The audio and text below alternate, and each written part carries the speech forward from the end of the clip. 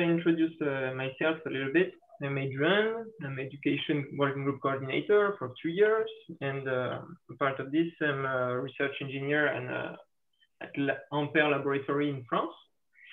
Um, I have uh, touched my first uh, blade uh, at the Wind Energy Laboratory in Crete in 2016, where I instrument instrumented an ASTM generator test rig. And then I met Jay, that uh, will talk uh, during this panel. Uh, that is the founder of TEOL, and uh, where I developed uh, an analog charge controller that was already launched, but I improved it. And we built six wind, wind, turbines together with Tripalium, the French network for the Piggott wind turbine. Uh, and then in, uh, at the end of this year, uh, I went to India to present this controller and to help with the organization of the Wind Empowerment uh, India conference. Um, and this year, I also participated to the organization. And currently, I'm uh, researching on small wind turbines optimization, uh, taking in account the generator and the electronics side. Um, so uh, today we have um, we are very lucky to have a diversified and complementary set of panelists uh, for this uh, working group session. Um, we'll have uh, Jay Hudnall that I just talked about that will talk about uh, developing small wins through education and education small wins, so vice versa.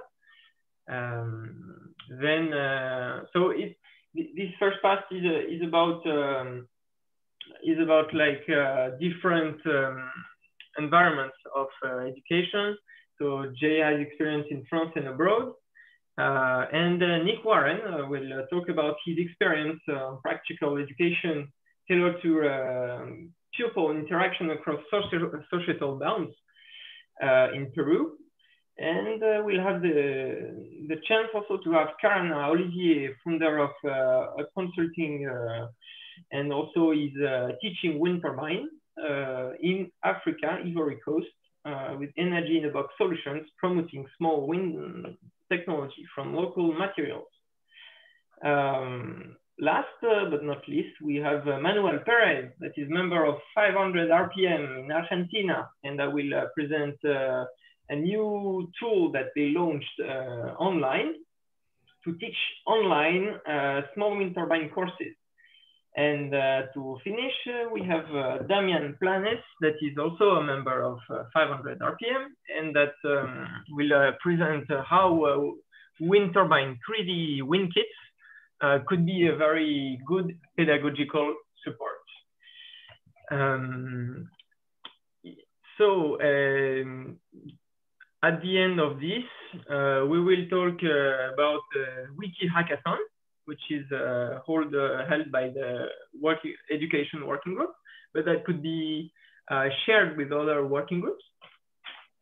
And before going on all that, uh, I'll talk a little bit about um, the education working group and what uh, we have done so far these two, two last years.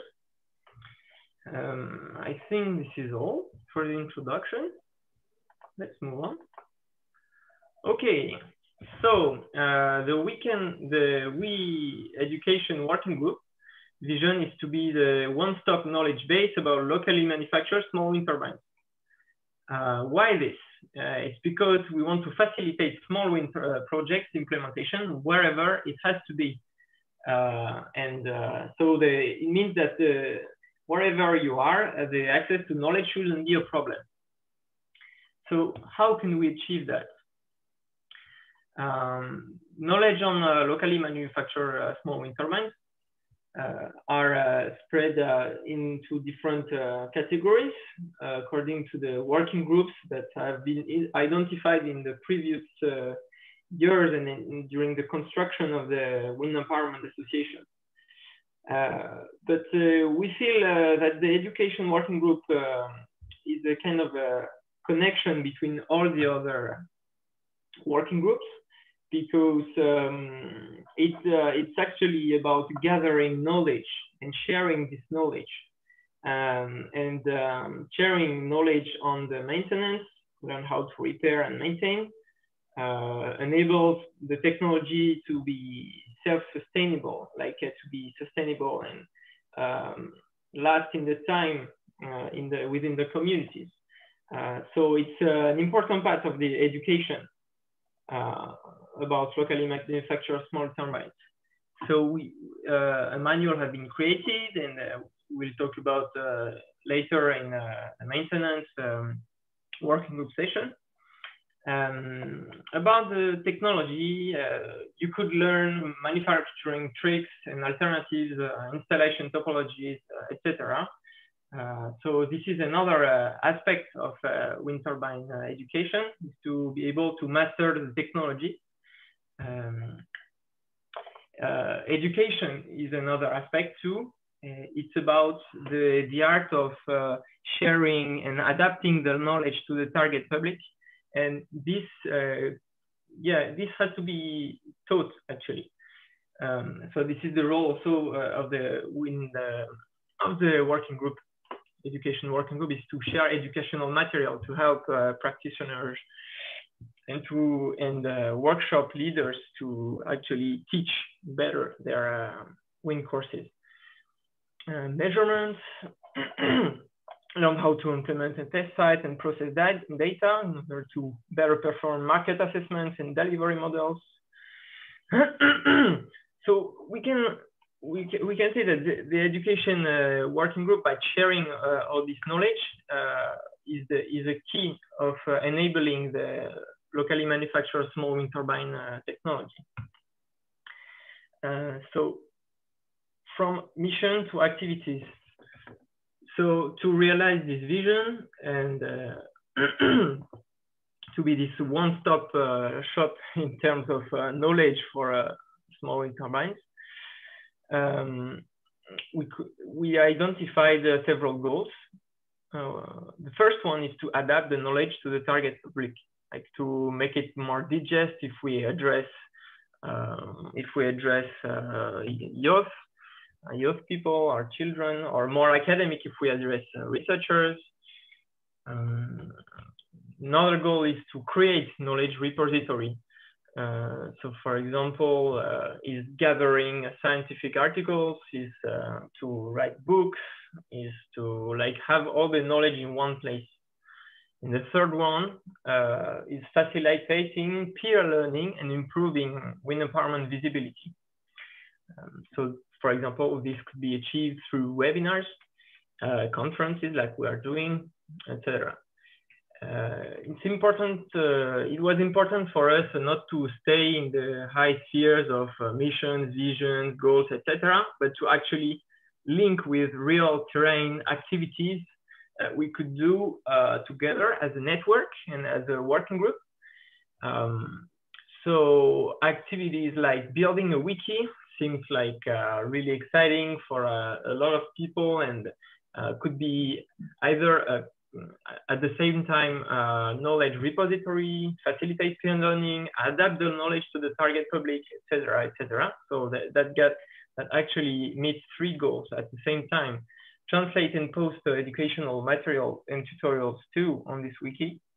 Webinars, as I said, uh, projects propose projects to educational uh, entities. So um, like uh, go um, propose uh, to schools or to universities some WIN courses and also propose them to document on the wiki, etc. And finally, lead an observatory on open knowledge has been identified as a crucial step in uh, this phase of uh, sharing knowledge um, to be able to be at the tip of the arrow, as we say.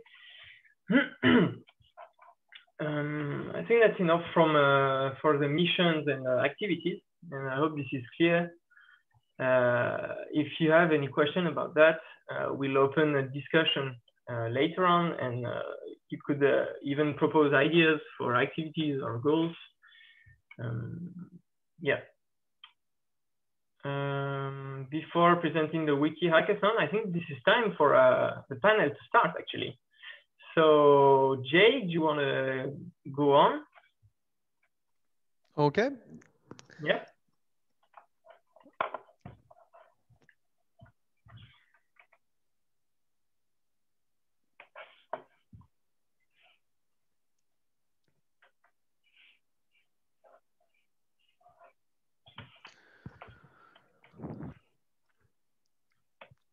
Okay, I hope everybody has my screen on now. Yeah, we can see it. Okay, yeah. good.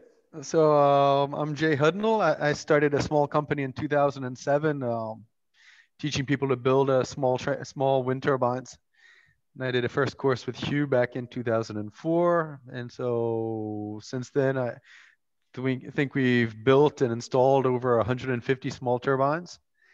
And um, so now what what I'm doing most is um, usually in a normal year I do a 10 to 12 training courses, one week training courses to teach people about small wind. Uh, this year is an exceptional year, so I haven't done half of that, but um, well, maybe five five courses this year, and uh, hopefully it'll get started again in uh, in 2001.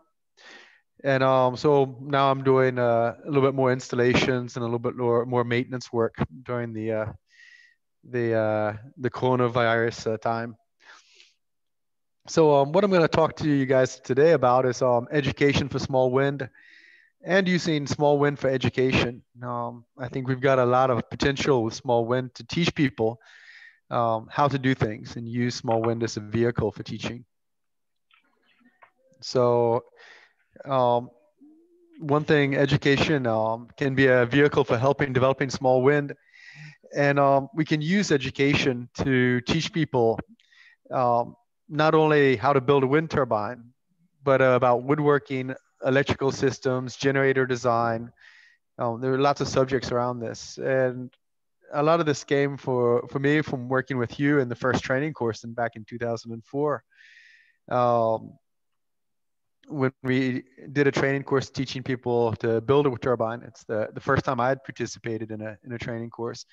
And I spent much more time looking for material and trying to ha- figure out how things could work. And, and okay, this is not the right uh, car hub, and this is not, not the right wood, and these bolts have to be changed, and this has to be, and running around a lot. But really, what I learned from that training course was um, how to share knowledge and that's something we we talk about as um, learning by competence to competence approach by competence. And so the idea is really as i explain to you how it works so uh, we have a little session where we explain people this is going to this is what we're going to do now. We're going to work on these blades. This is how the tool works. This is how the uh, the spoke shave works. This is how the rabot works the, the plane works and then I'll show you. So I'll use the tool and show you how it's going to work. And then you do it with my help so I can help you work on it. And then afterwards, I'll, I'll correct you if it's necessary, if I see you're doing it wrong or if you're risking to uh, catch fire with the angle grinder or other things. And one thing that I, I, left out on this slide that I realize now is, is also then having the person explain it to others because that way we teach the person to become a teacher. And so I should add a, a fifth line on here.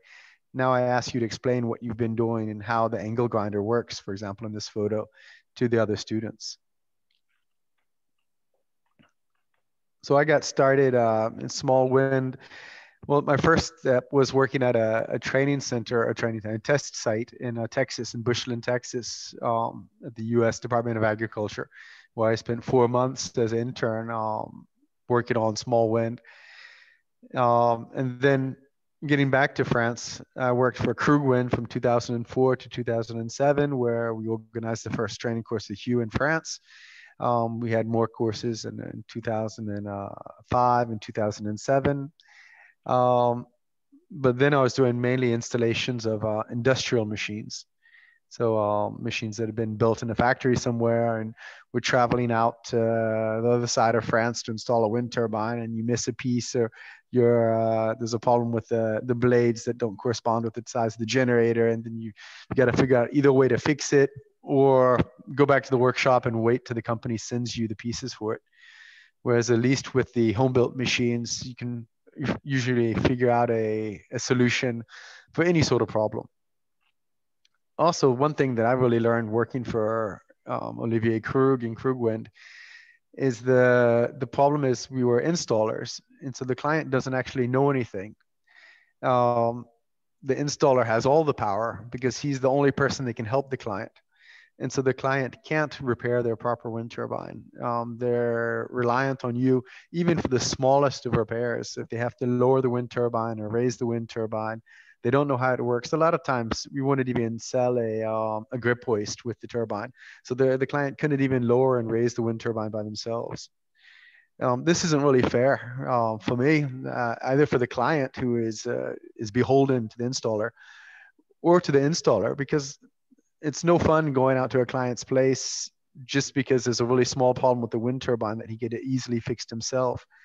Um, it's expensive and a lot of times you don't make your money back on on things like this because traveling out 300 or 400 kilometers to do a maintenance um, it's difficult to factor the or to bill the client for the the real cost of the travel time and and the work on the wind turbine.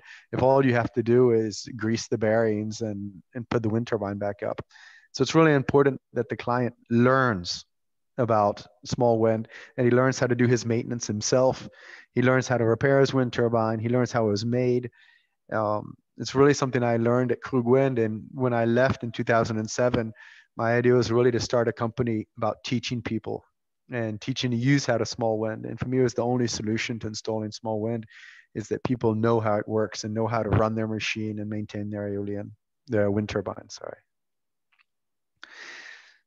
So in when I left uh, Krug, we started an association which is called Tripalium. At the same time, the company TEOL, my, my small wind turbine company.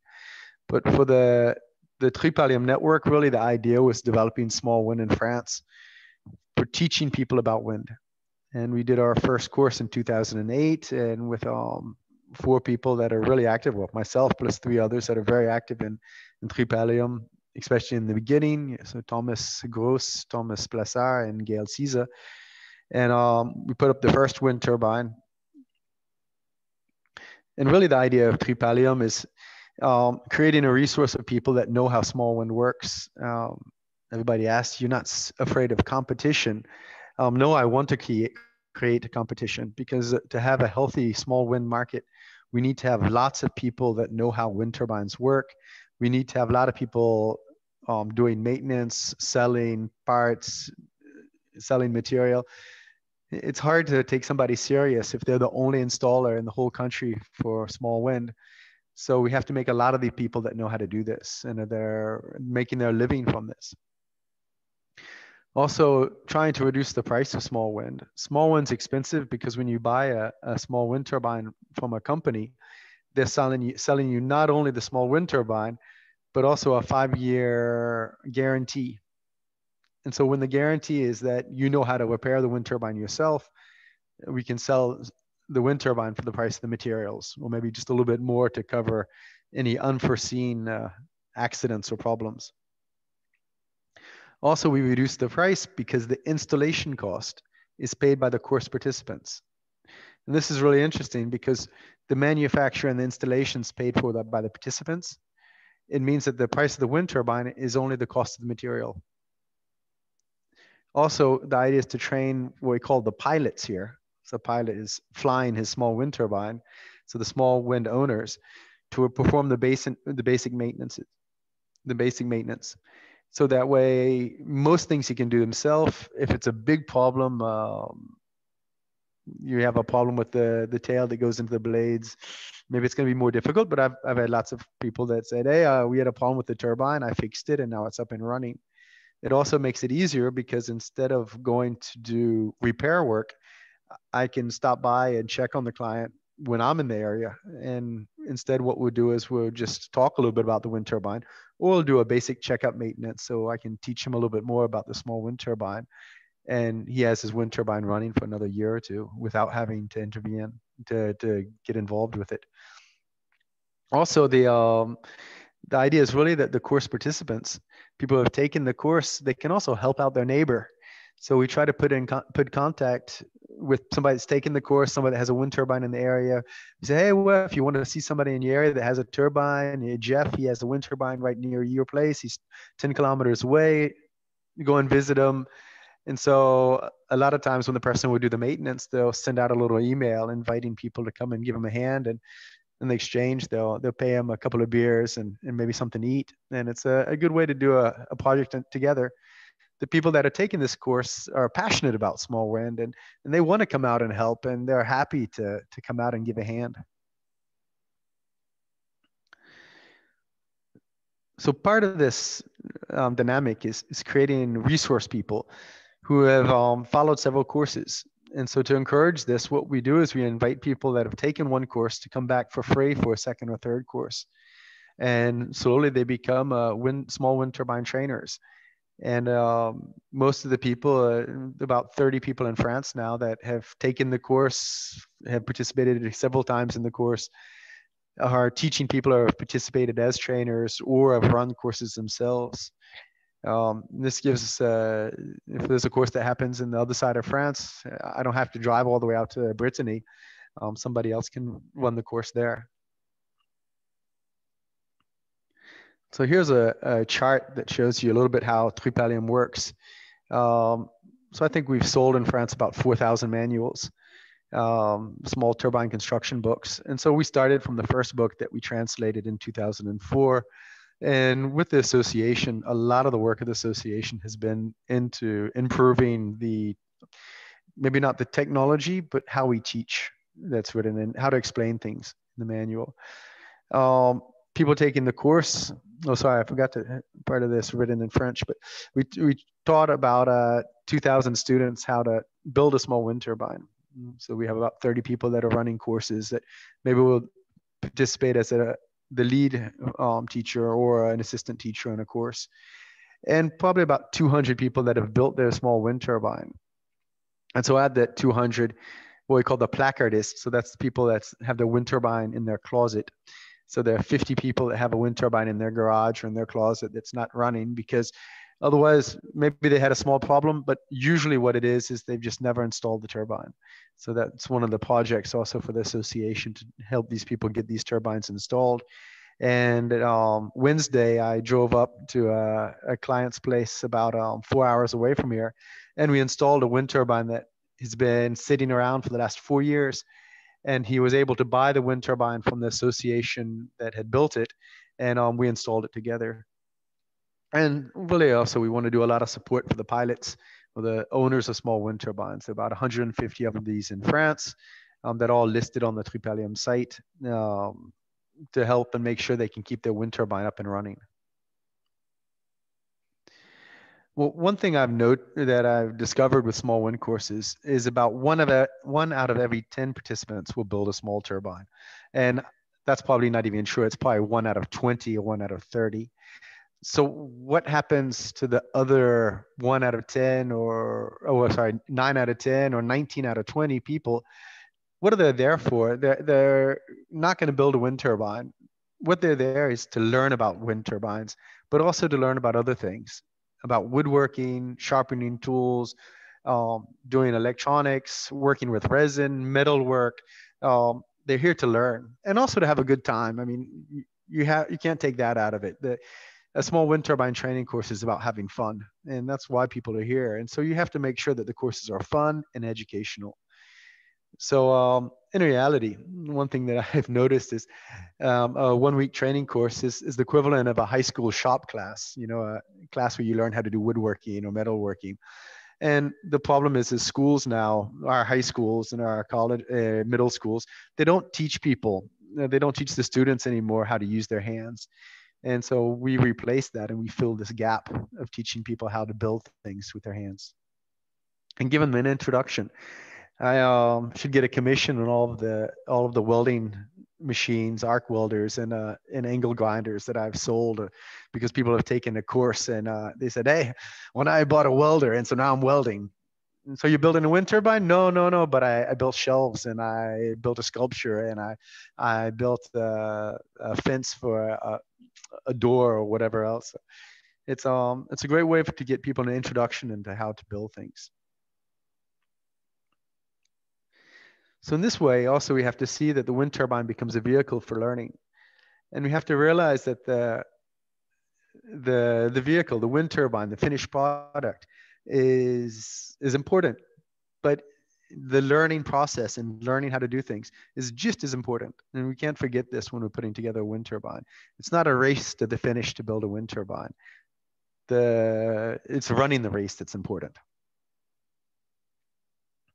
And one example of also using small wind for educational education is a association we've created here in France called EOLécole. And the idea is to teach students about electricity, aerodynamics, electronics, magnetism, 3D modeling and printing um, by building a small wind turbine, whether we'll build a small wind turbine where we'll put together and sculpt the blades, or we'll print it out with a 3D printer and do the windings and build a small wind turbine that we can put in front of a fan. Um, but looking at course material, well, we build something with our hands and afterwards we test it and we can play with it. And we learn about lots of different things by doing this. Well, one thing is, um, how does this come into play with the small wind market and how to developing small wind? In, in France, there are few off-grid sites, less and less. Uh, most small wind installations are grid tied. Um, the price of electricity from the grid in France is very, very cheap, around 15 cents. So nobody's going to make their money at, um, back from selling energy to a grid. So what we're doing is we're selling a lot of people, the selling the wind turbine, and the person's buying the turbine because they're happy to make their proper energy because they dream about having a small wind turbine. It's a common occurrence that somebody says, "I've always dreamed about having a small wind turbine, and now I've got a little bit of money. I can I can do it, do this, and realize my dream." Um, around the world, this is not all, not always the case. Um, as the price of smaller panels have gone down, it's more and more difficult for wind to be the best solution. But there are lots of places where a small wind turbine makes the difference of keeping the lights on. And we have a lot of places like the site where I set up the wind turbine this week. Um, he already has six kilowatts of solar installed. And we added the wind turbine because in wintertime, he still doesn't have enough electricity. And so now he has a, a two kilowatt, a 4.2 meter machine running. Um, and overnight, we spent the night there. Overnight, um, he put out two kilowatt hours. And in the morning when we woke up, the batteries are fully charged. He's got two freezers, uh, a big refrigerator, um, everything electric. Well, not the heating for the house, but most things electric. And no problem. He can cover all of his energy needs with the wind turbine that he helped build four years ago that he was able to buy from the association that had never installed it. So um, there's a potential in around the world for putting up small wind turbines to answer energy need. But the question for me is how we do financing. Because in France, the Tripalium model works because the cost of the materials is paid by the person buying the wind turbine. So we have half of the cost is by the person that's buying the turbine and the small energy system. And the installation and fabrication are paid for by the participants taking the course. So the question becomes is how to finance the development of small wind when there's very little or no financement by the, the people taking the course. And um, this is a question for me. I don't really know how to answer. Um, one possibility is uh, the example of a project we did last November in the Republican in the RDC, the Republican Republic Democrat of Congo. Um, the the installation, so everything was paid for by the AFD, the Agence Française de Développement, through a, a project to teach the teachers in technical colleges how to set up a small wind turbine. And in the beginning, the proposition was to sell them three small wind turbines and do the course around in three industrial wind turbines. And we were able to change this. And instead of selling them three industrial wind turbines we sold them a project where they built two wind turbines. So during one month with the teachers we built two wind turbines. And for me the, the success of this project was measured by the fact that um, in february the one of the teachers sent me a couple of pictures with the students of them building a third wind turbine. So they were able to build a third and install a third wind turbine after we had left. And so I think it can be a very interesting type project to try to develop um, small wind by working with educational technical universities technical colleges if we can get some financing to help pay for the people to take the course and pay for maybe teaching the teachers and getting the teachers up and running, then the um, for having the installation, maybe we can find somebody that has a little bit of money to install it at their place. I think we can find the client if the price is, is reasonable. And so the um, one possibility is government financing. For, for me though the question also becomes having a maybe a quartermaster or have somebody that's there that supplies materials and that's kind of what i do here in france with uh, Tilleul. with my company here is I, I supply magnets copper wire um, even wood blades um, whatever we can imagine um, what i saw the problem was in in rdc in congo and um, in other places is a lot of times most of the material we can find locally, but there's some things we can't find. And having a small company that's there, I don't know if it's possible to do that through the school. I don't think so. Having a small company that's there that can supply materials probably would have to, would be a, a requirement to doing development development in a, in a locally in a country. But the idea is the fabrication, the installation, and the maintenance can be performed by the, the technical school. So the question now becomes where to now? But um, I think uh, maybe we'll hold off for questions to the end of the session or we have those right now.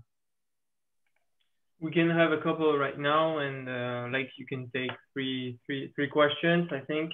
And uh, we have an open discussion after. So keep your questions and uh, then we go on with uh, the next presentation. Thank you.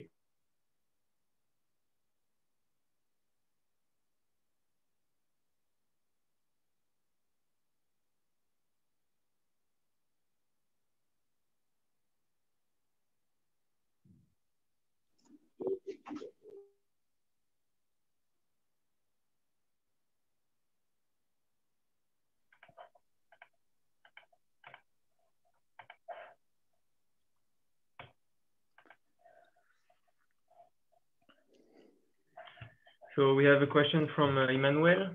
How do you organize the courses? Are these open courses organized for closed groups at universities? This uh, usually I do maybe two closed groups per year. So um, out of the 10 or 12 courses. So I have two courses that will be organized through a university where we'll build a wind turbine. But for the most part, these are courses that I organize with um, local partners um, either I organize it by myself here in Valence, or I organize it with a, an association or an individual that wants to have the wind turbine. Um, uh, probably half my courses are organized by the person that wants the turbine. And so I have somebody that contacts me and says, "Yeah, I'm interested in having a wind turbine. I am don't really know if I can build it myself or if I want to spend all the time to build it myself because it's a lot of work." Um, so I say, "Hey, well, we can do a course at your place, and then um, if they've got enough space, we can even work in their barn, um, stay do the camping in their in their yard, and um, so this works pretty well. And so we do a lot of communication so on the the Tripalium, the Tilleul websites, and sometimes local communication through newspaper and radio. And then a, a, second question also from Emmanuel, how do you deal, or maybe I, I, will uh, I can see that there are two other questions for other people. Uh, maybe we can uh, keep your question for after, Emmanuel, sorry. Uh, so Jean asks, uh, what's your view on solving the supply chain issue for courses to follow up in developing countries?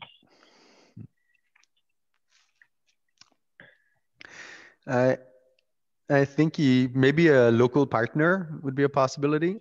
Uh, maybe somebody, uh, if you have somebody reliable that's selling some, um, already doing importing a little bit of material and selling some solar material, maybe it'd be possible to piggyback uh, on an existing local company.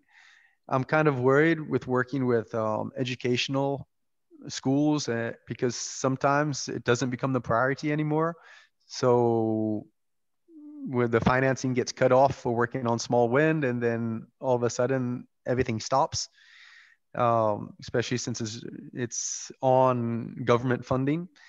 And so having maybe a local company that um, is doing a little bit of import work, working with a local company to do this um, would be a possibility.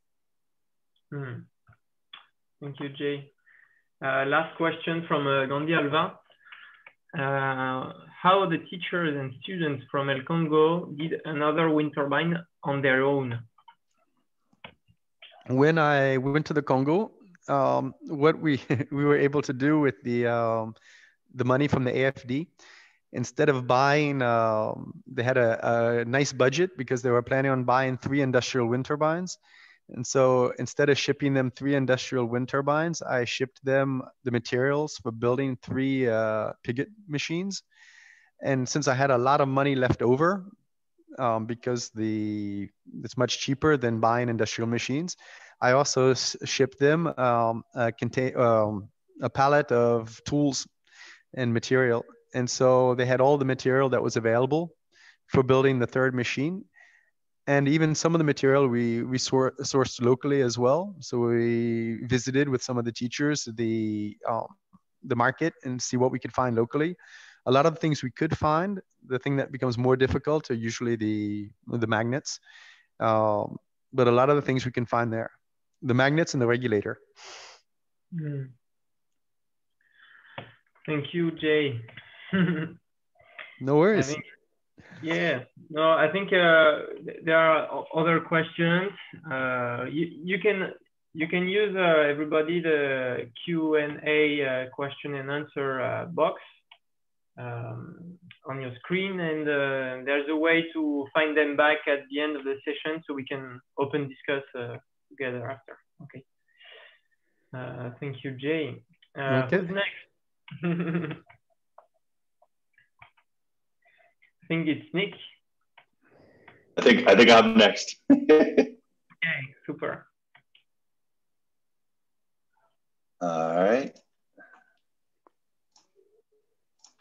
Hello, everybody. Um, so yeah, my name is Nick Warren, and I am one of the founders of WindAid Institute.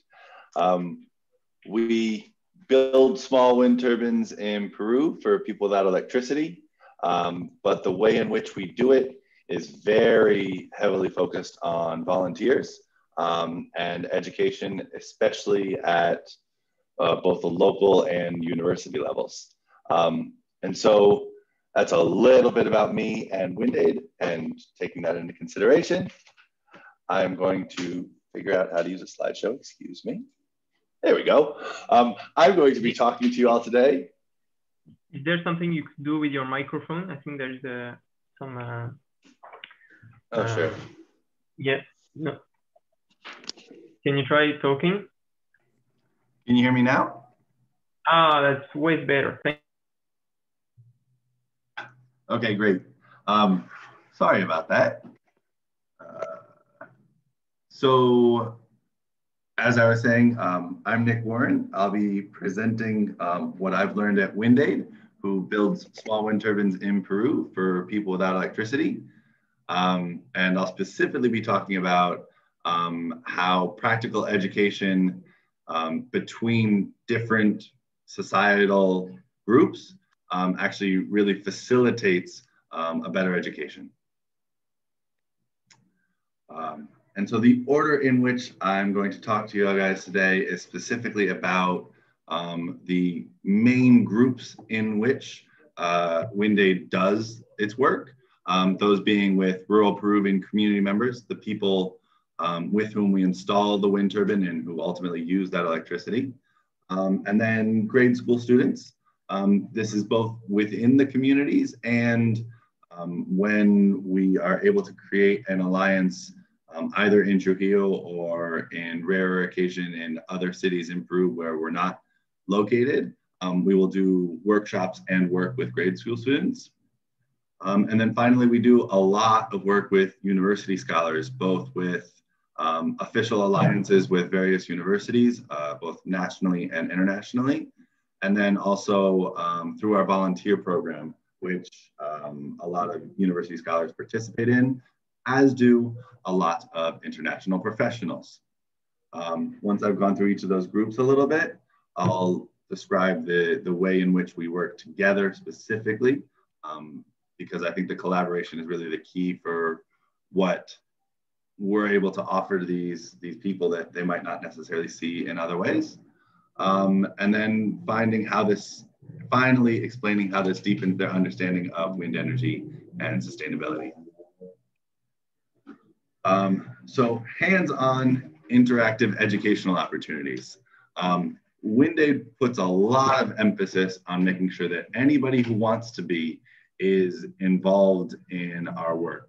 Um, this is everything from the kids tightening bolts on actual wind turbines that will ultimately give them electricity um, to uh, international professionals on wind energy that weren't able to understand the impacts that their work might have been creating if they're working at a large organization. Um, so to focus on the rural community members and how we develop our interaction with them, um, because their interactions often are sometimes negative or limited in working with um, international groups, we always start with a very low key just greeting in the community to better understand uh, their needs, to express what kind of opportunities might exist with WindAid. Um, and then assuming that goes well, uh, we then grow upon that basically seed of the communication and potential for a project, um, whereby designing a project specifically to fit their needs, where they are able to give us feedback. Um, based on that feedback, in the longer term, we've also changed the designs of our wind turbines to better fit what communities tend to need. Um, and then even beyond that, we always make special attention that community members are trained in and understand the wind turbines and wind turbine systems um, so that they are able to manage them themselves. Uh, grade school students. Uh, so within the community, whenever we go to a community, we always try to focus on doing work with the kids. Um, that could be doing a presentation about climate change. That could be building the little wind turbine kits that you see in this picture. It, it could be any number of things, but we always make sure to work with the kids.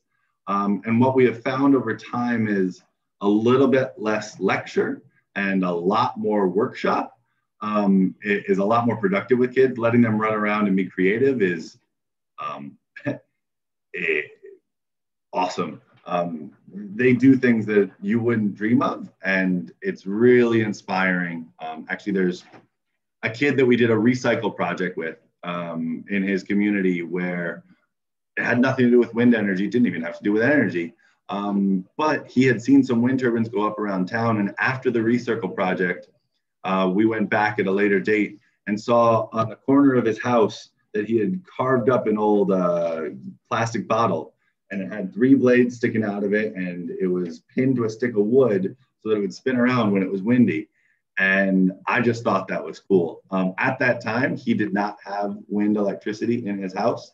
Um, however when we installed it we made a special point to include him and i think he tightened the bolts on the base as much as he could. I think he was 10 years old but so that was really cool seeing that inspiration in him. And it also spoke a lot to us refocusing on our, our efforts on making sure that um, our energies were interactive and really give the kids an opportunity to um, show what they were capable of and be creative.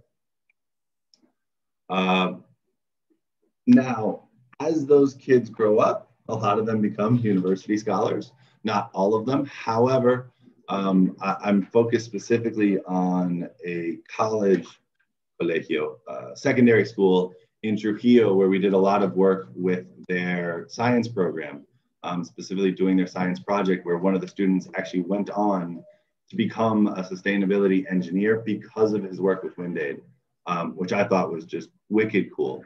Um, and we ended up working with him a little bit while he was at university.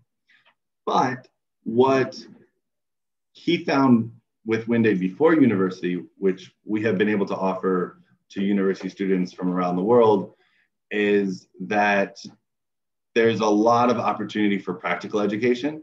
And some universities don't they don't miss out on doing this but there's not an emphasis on it.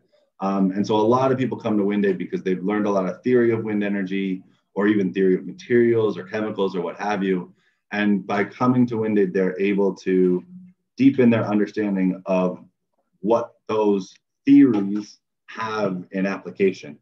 Um, and even beyond that, those who are able to stay a little bit longer are able to deepen their interaction with both professionals and with communities, and thereby design some part of the wind turbine or wind energy system, um, and, and really kind of digging in and creating an iterative model is great for wind aid, it's great for the communities, but it's really exceptional for um, any growing professional who's able to do that, uh, get that hand-on experience, but also create that impact is amazing. And then finally, um, the last large group we work with uh, in that sense is international professionals um, who, who, come to Wind Aid for a variety of reasons. Um, some of them just want to break. Um, a lot of them work in the wind energy field or even sustainability, um, but are a cog in a much larger organization and have kind of gotten distant from understanding what the actual impact is of their work. And so when they come down to Wind Aid, they're able to get that hands-on understanding. They're able to go out to those communities um, and they're able to understand if they were to be designing, oh, shall we say, uh, electronics, um, they'd actually be able to see that controller installed, converting electricity from the wind turbine and actually lighting up lights in somebody's house that didn't have it before. And that impact is incredible. Um, and the same kind of thing can be inspiring for professionals who hit a dead end, don't really know where to go. Um, they come down here to kind of hit the reset button and see where they want to go with it. Um, and then finally, it's a phenomenal uh, opportunity to network and see what other um, technologies are happening around your field. Um, so to go a little bit deeper into the kind of collaborative environment that we create at WindAid, um, we specifically emphasize that everybody has to get hands-on um, and it's done together. Um, while of course you might wind a coil yourself if that's what the job requires, uh, the process of building an entire wind turbine and then installing that entire wind turbine it necessitates teamwork. Um, and we make it a point that those teams, uh, whenever possible, are broad. Um, you very well might get somebody from Trinidad and Tobago working with somebody else from Brunei. Um, or you might get a student from a local university uh, working with a community member who never finished secondary school. And those kind of overlaps um, not only create an appreciation for the electricity, which was WindAid's kind of budding force, but it also creates um, aspirational goals. It, it makes you understand that your fellow man is capable of things. And to put it painfully bluntly, it, I'd like to believe that it helps lessen racism to some extent, or at least classism, uh, depending on where you come from and who you end up working with.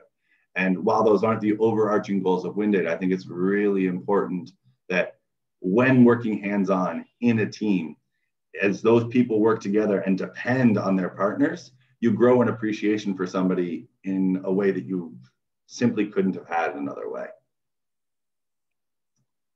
Um, rolling back um, from, I guess, some of the altruistic uh, aspirations that I have within WindAid um, is the goal of the organization as a whole, and that is expanding the understanding of wind energy and sustainability via creating um, electricity where it didn't exist before.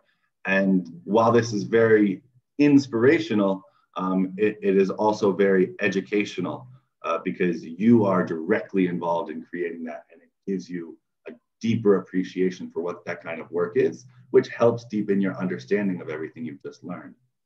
Beyond simply uh, creating renewable energy where there wasn't electricity before, WindAid also emphasizes um, going around and pointing out places within Peru where climate change has devastated um, local populations Um, and we do that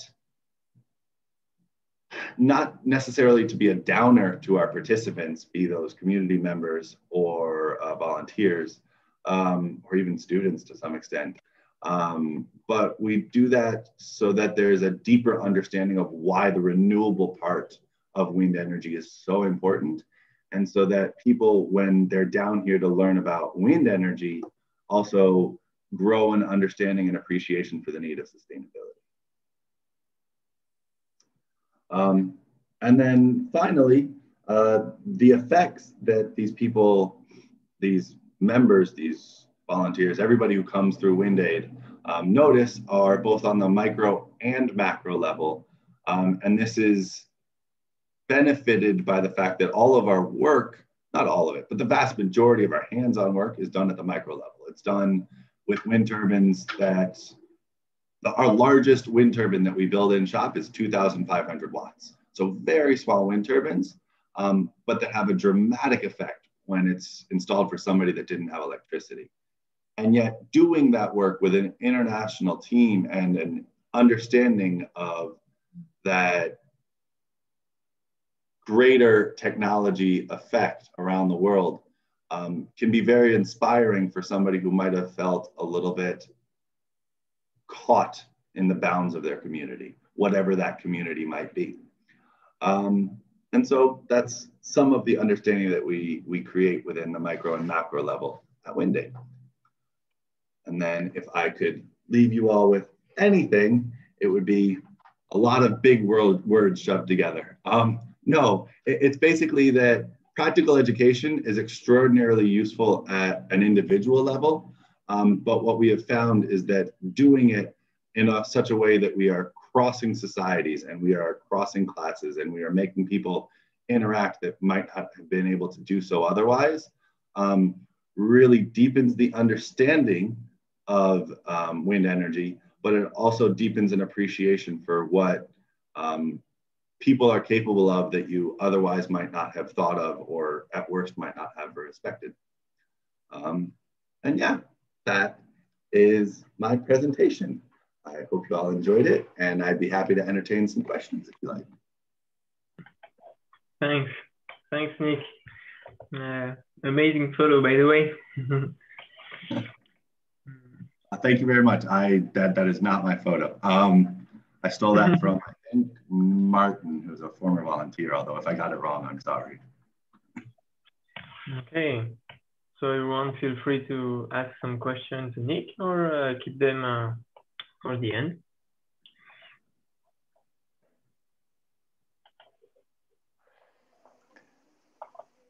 I think people is uh, surprised and paralyzed by the photo. Really good photo. Yeah.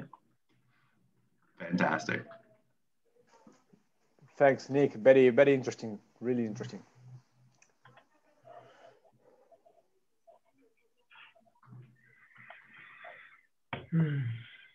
Um, in that case, I'll wait for questions at the end if folks want to throw them out at me, and I'll pass the buck on to the next presenter.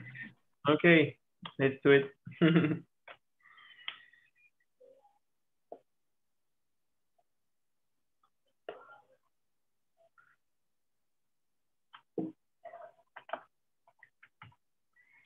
Mm, Karana, do you want to follow on? Okay, I wasn't sure who the next presenter was. Actually, that's me then, I guess. Okay.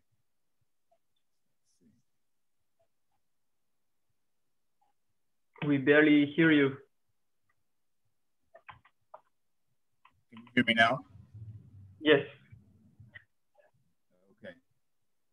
Hello, everybody. I'm Karana, and uh, I'm uh, I'm a U.S. citizen, but I'm I've been living in Africa for about 20 years, and um, um, I always like to start off with these pictures. They show you kind of the the the very diverse kind of work that I do. I work with uh, small wind windmills, small wind turbines, um, but I work with all ages as well. This is not what I do for a profession. Uh, I do this as um, a way of giving back. I am a conflict mediation expert, um, but my um, my wind turbine TV, if you will,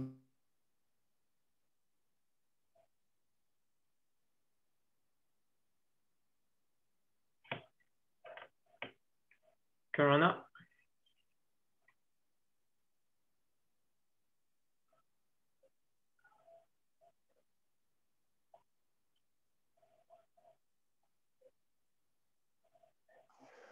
Well, I think uh, we lost you, Karana.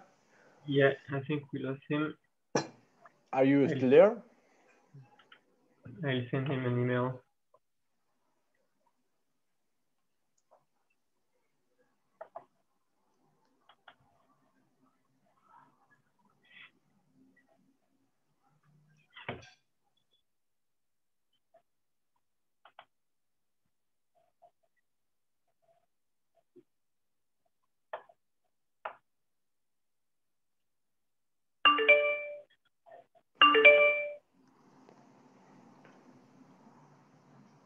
Let's see.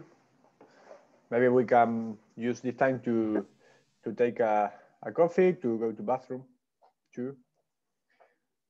I guess uh, most of us continue chatting during Discord meeting, so we will see what's happened with Hello? Karana. Hello? Karana. I'm back. Yeah, Ah, yeah. okay, sure. Ah, welcome back. From the Welcome, future. I'm sorry. The I am not in Abidjan, the capital. I am in upcountry in uh, on the border with Mali. So I'm in a very not very good internet location, I guess. Okay. But I was able to follow with great interest the presentations um, so far with Jay and uh, with Nick. Very interesting. So I I'm hoping you can hear me okay, and I'll I'll just keep moving forward. And if I get cut off, I'm very sorry. Um, so I was just saying earlier that I have a, a, a very diverse background, mostly in conflict mediation. That's my main work. But um, Small Win came to me via or work, a workshop with uh, Dan Bartmann in Colorado. And you can see here with it doing a 12, uh, 12 foot machine. And uh, what I do now is I build, uh, I organize workshops. Um, it's a build a turbine in a, in a day workshop. It's an educational tool but also for entrepreneurial purposes to help people become more familiar with it. And I, I, oh, how do I advance now? Let's see. Oh, I see. So, a few there's a few reasons why I'm working in this area in the first place. Um, one of them is that I realized that there's a couple of realities that are um, that I encountered after my my training with with Dan. And the first one is that wind energy is a mystery to way too many people. Uh, there's so many misconceptions about what what energy is, what it's supposed to do, and how complex it uh, it is. Um, the second reality that drove me in this direction is that the most popular models, uh, like the the Piggott axial models, are really inaccessible financially to most of the world's population. And then the third reality was that most wind turbine classes that I've attended or I've seen available online or elsewhere they teach to a standard that is not adapted to energy consumption sorry to energy consumption levels in most for most people in the world. Um, in most of west africa and a great part of central africa um, and some parts of east africa but i know the many parts of south america as well car batteries are how you power your your appliances in your village. Um, and so we're not talking about kilowatts unless you're talking about many batteries brought together. You're sometimes talking about just the ability to charge a single 12 volt battery. Um, I also was inspired because of my work as an international in international development and peacekeeping that there are sustainable development goals. One of them is the main to ensure that everyone has access to affordable and reliable and sustainable modern energy for all. And so for me, wind energy was the perfect fit for this. And so through the organization that I created, which is called KOC Bridges to Peace, I started working on figuring out how to help people design machines that are at the intersection between what means they have and what needs they have. And the means are very, very meager. I'm working with populations who make less than a dollar a day, but I don't want that to be an inhibitor to them to being able to produce energy on their own. So what we generally do is we have them present a problem. Uh, what is the problem? Problem in the sense of what, do you, what are your power needs? And based on their presentation of what their power needs, we have them, we start presenting to them a number of tools. Now I work with populations that have no, no ability to read or write, but I also work with students who are engineer students, uh, engineering professors. So there's a whole gamut. So you need to keep everyone interested in the workshops that, you, that I hold to make sure that everyone stays involved and they help each other. So we start with Ohm's law. We look at the, you know, the whole, the whole relationship between voltage and amperage, and then basic concepts. How is power being produced? And then from that, we also look at wind as a source of energy and, and, and how that works and how do you measure it. And we also try to, make, try to make it fun if we can. But also we, we try to make sure that people understand that there are different dynamics between different parts of the world. If you're in a cooler area, like I saw in Peru up in the mountains, you're gonna have a very different kind of dynamics going on. So it makes it interesting for everyone because the students uh, who attend my classes, uh, the engineering students want to see the math that they've learned or the engineering that they've learned in school, but never saw any, any practical applications. Um, Jay mentioned earlier about the lack of ability for hands-on work, and Nick mentioned something similar about the institutions need, need to be more involved. And I can say that in Cote d'Ivoire here, the professors are afraid to attend my classes because they think they're afraid to show that they have no practical experience. And so these classes um, are full of students uh, who have uh, either majored in electronics or engineering or uh, other, other related um, uh, fields, but they have never had hands-on it at all. Uh, some of them have graduated graduate school without touching a single machine. So uh, what we do is we had fun with them. We, we teach them about some of the basic dynamics and what can happen, what can happen, what are the expectations you should have with wind energy, uh, what are the, some of the down downspouts, what are how, how do you main, how do you manage um, expectations as well? Uh, this is just a simple um, demonstration of how you have uh, a loss of energy and also we try to explain where the best place to put these machines because the idea is that we don't just want people to learn about them. We want them to test them and we want them to succeed. One of the main reasons why I even get involved in wind power is because solar power, power even though the prices are dropping, they're way beyond the cost of an average person.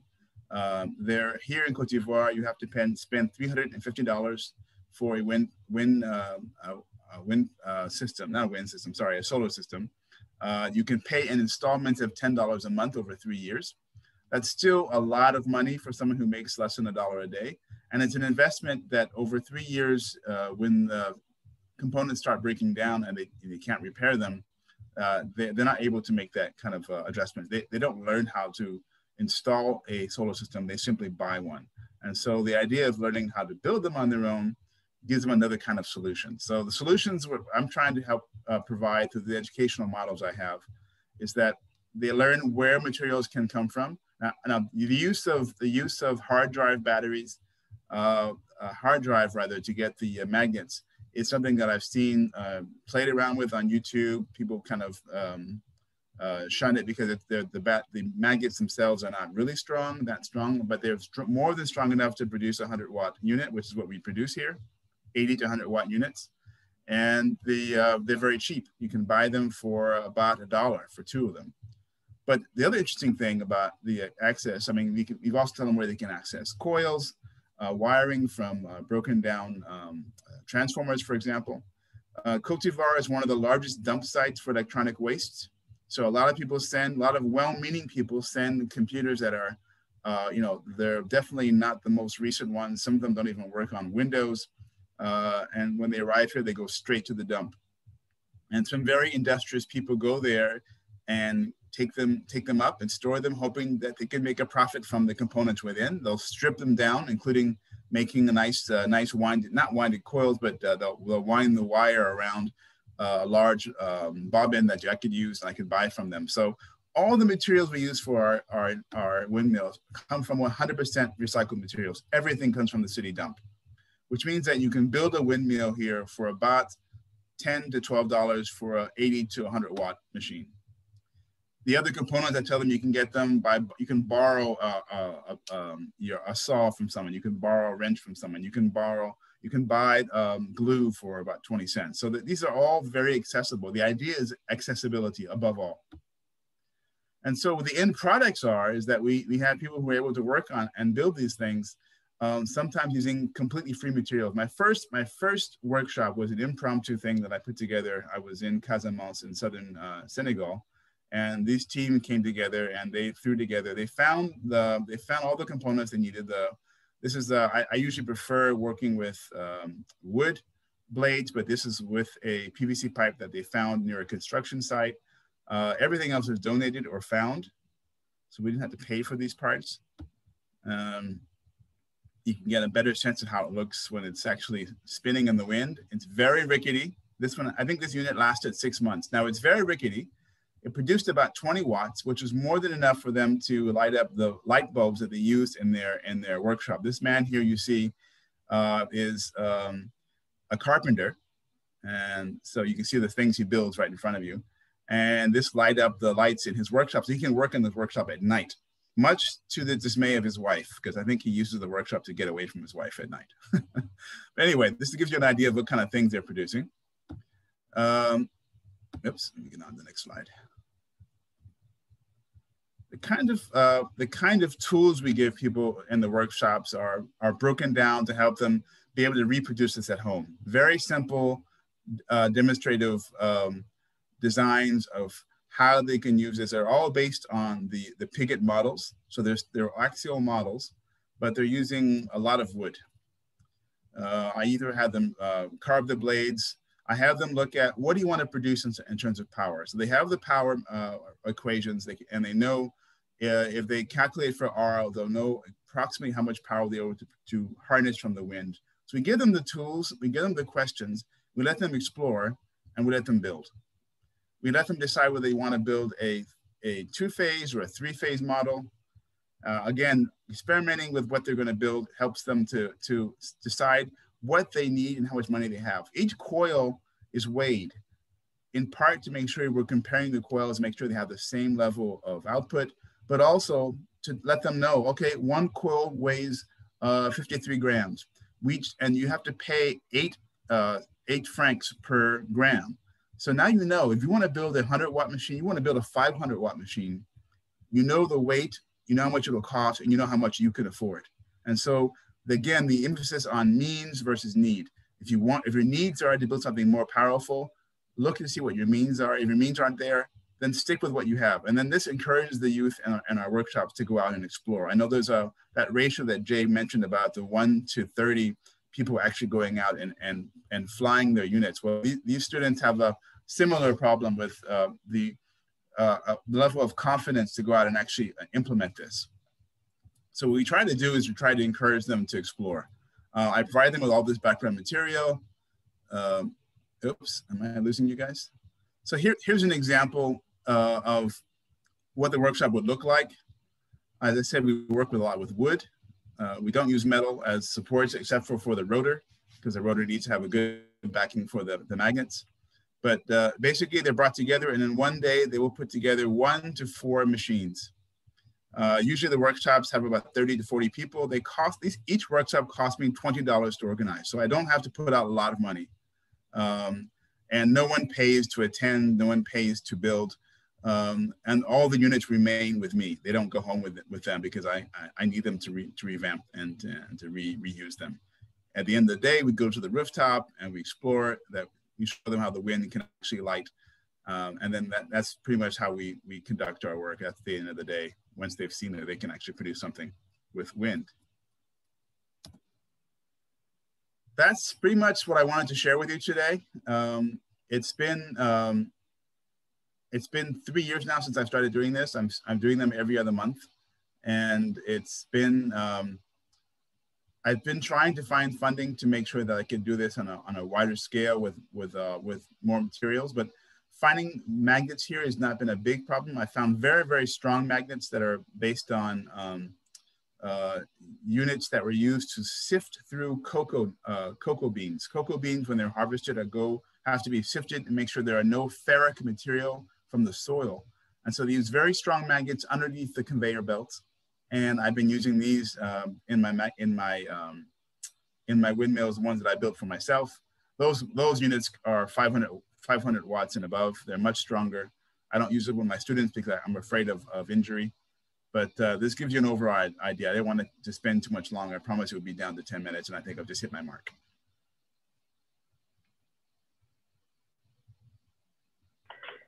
Wow, thank you, Karana. That was uh, really, really interesting. Doing with this 100% recycled uh, material means this versus needs. this is what we get from this presentation. Many thanks. Um, you can ask questions to, to Karana on the Q&A or keep them for the end. This is up to you.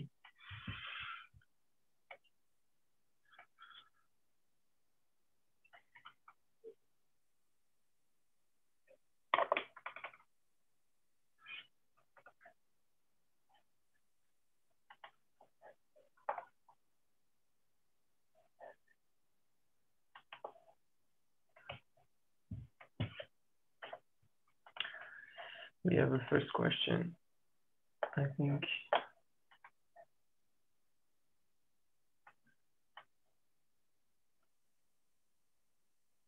Do you have any electronics problem? From Jean.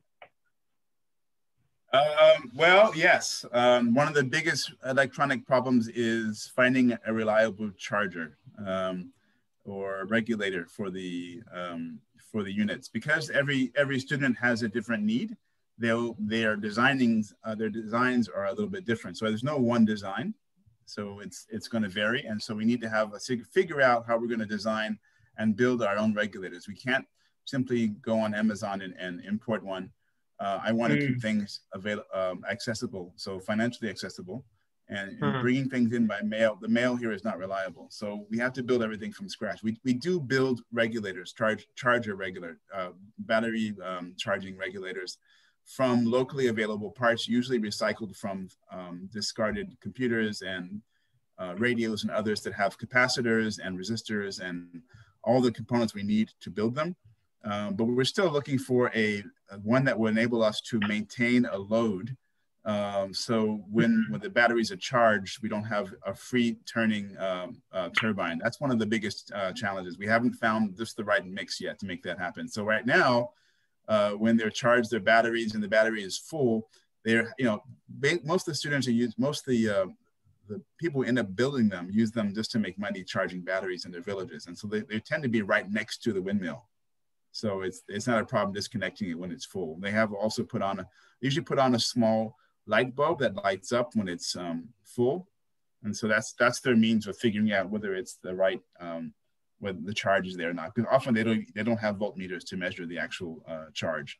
So we've tried potentiometers uh, and other kind of components in the unit, but I'm having some difficulty. So I'm always looking for good ideas.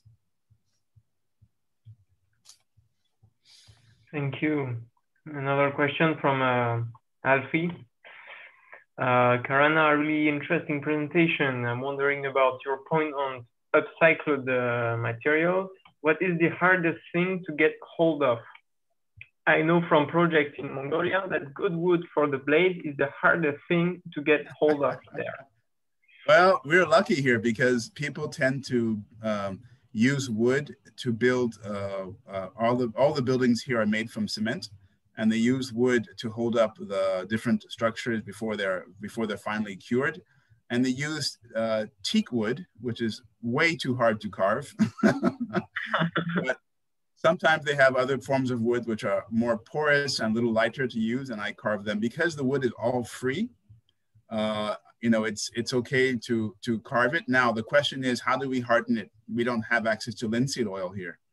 I tried uh, uh, grinding down actual linseed and trying to produce my own oil, but I think you produce about like half an ounce for like a ten a bucket full of linseed, so it's not it's not really worth your time. Uh, so what we do instead is that we use uh, Lipton tea. I kid you not, we use Lipton tea. We make a large Lipton tea bath and we dip the Lipton, the lip, we dip the, the blades in Lipton tea. It has a lot of tannin and it stabilizes the wood. And then after that, we use uh, a little bit of turmeric in order to, to seal off and, uh, and also help stabilize the wood. And then finally, we use um, shoe polish uh, as a finish. So all the, the goal of all these units are, it's cheap, wood is cheap and replaceable, but also uh, stabilizing the wood and protecting the wood from the elements needs also to be cheap. So we're, we're always keeping the, the cost low. And so shoe polish, uh, so far it seemed to be a nice finish. We also try using coconut oil, which is also great to use if you, if you buff it properly. Incredible. Thank you. Um, a last question maybe from uh, Emmanuel. Uh, how many turbines are up and running in the field and for how long do they last usually? Yeah, that's a great question. So the only one that has been up and running so far uh, that has been running for a while has been up, I guess, for about a year now. But a good gust of wind knocked it over. So the biggest problem was how it was supported. Uh, it was uh, located on someone's rooftop. And so they did not have guide wires. They just had a large, wide base and they held it down with um, uh, bags of sand uh, the, at the base, but uh, it was not properly screwed in. So it, it, it dropped and the blades went shattering and so did and the whole unit is gone.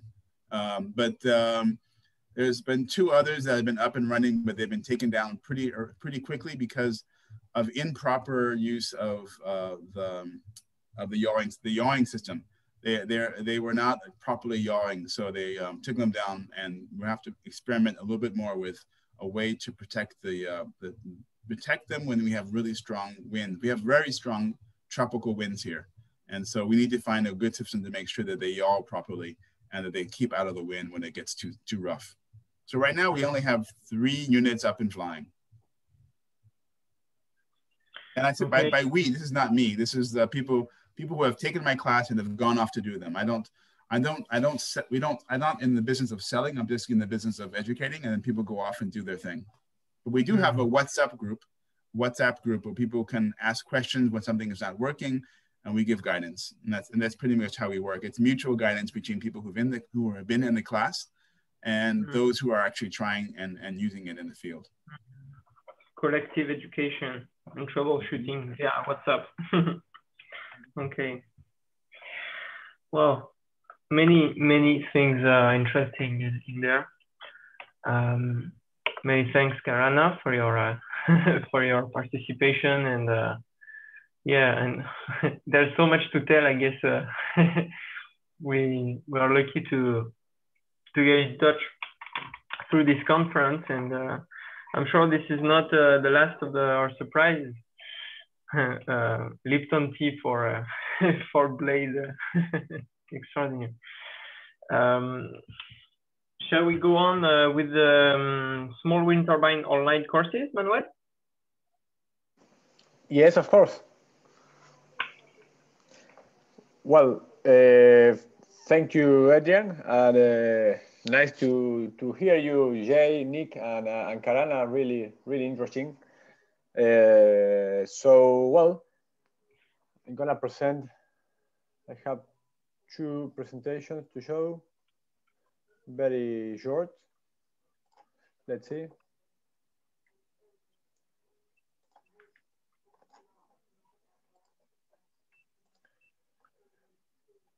Okay, you can see my screen?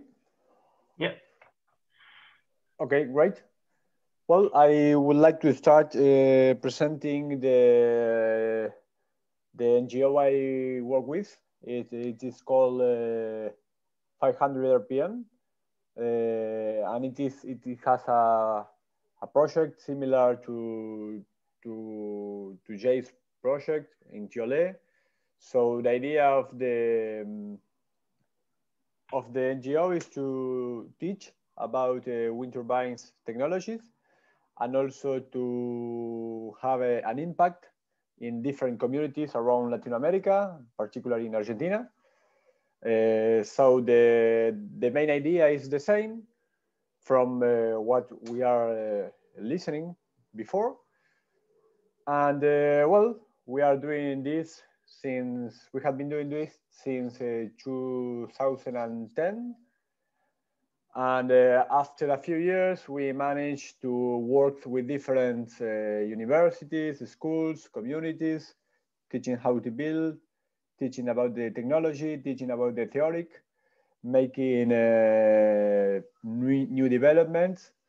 But uh, particularly, if we talk about education, we we start to think about uh, online education to to make or to have more time with the with the people during the the courses so they can learn not also about the the construction of the turbine but also about the the theoric back of the of the construction so so well we start to to build a, a new tool uh, called uh, campus uh, that uh, help us to uh, have more time with uh, our students and to transfer more concepts.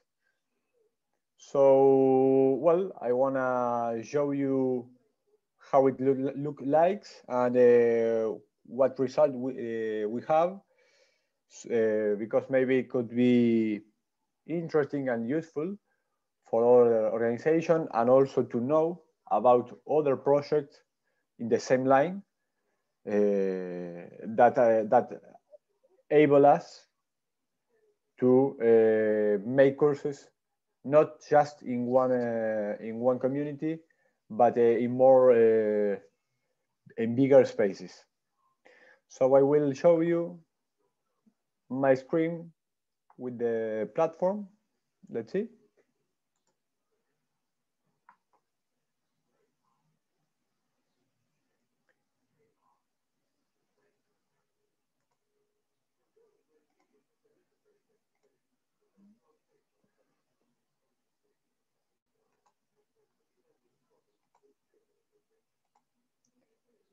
Here it goes.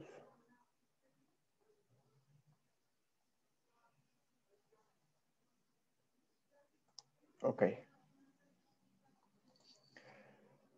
Well, I think it could be interesting for uh, for all organizations and also for wind empowerment, maybe to think about uh, online courses and online tools. So, well, the idea is to have a, a specific uh, website that uh, allows students to log in and uh, found the, the material that uh, you want to show during the, the courses. They have to log in like this. The, the tool is called, it's very known. It is called Moodle. Uh, it's a, an educational tool, uh, very used, very used in uh, universities. So we take this uh, tool and we start to build different courses, uh, particularly focus on the uh, small wind turbine uh, projects.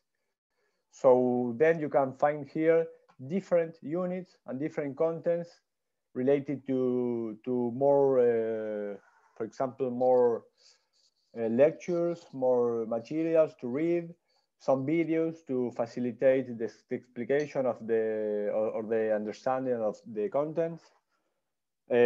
So in fact, it's a place where you can also uh, give, for example, activities to to motivate them to practice with the with the numbers, to practice with the concepts. So the idea is to use it like a, a complement of the online activity of the present activities. So well, uh, we did it. We start to use it this year with the with the new world with the virus. So we have a good results. Maybe we are trying to to have 50 students per course, and uh, it uh, it allows us to to work with more people. Then they participate in a presential version of the courses so they can see the the the hands uh, faces of the knowledge. So well, that's the main idea. Maybe you can you know you know this uh, platform. It's called Moodle. So you can easily you can uh, put there what you want to to show to the to your students. You can put it on uh, different units. For example, introduction to the uh, wind, to, wind technologies and, and to the wind energy. And they have the possibility of the, see specific links to order the information, to structure a course. So I guess uh, it could be interesting to, to, to some of us, some of us. And, uh, and uh, I repeat, it's for the moment, it's, uh, it's, it shows like a useful tool. We will see next year when we, when we go back to the reality or to the normally because uh, this year, of course, uh, all the online tools are useful. We will see how it goes next year.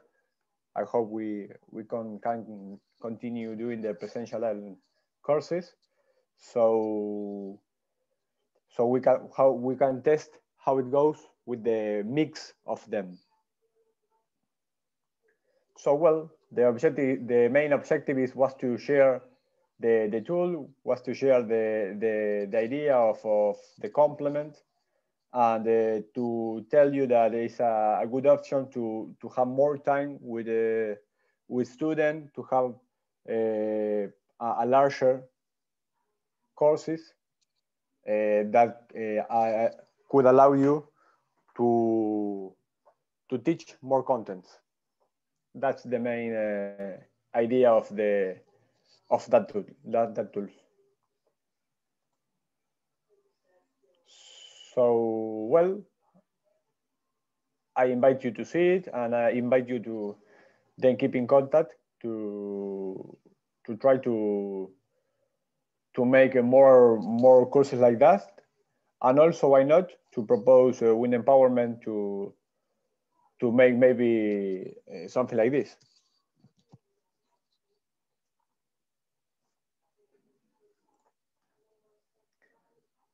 that's uh, all for my side.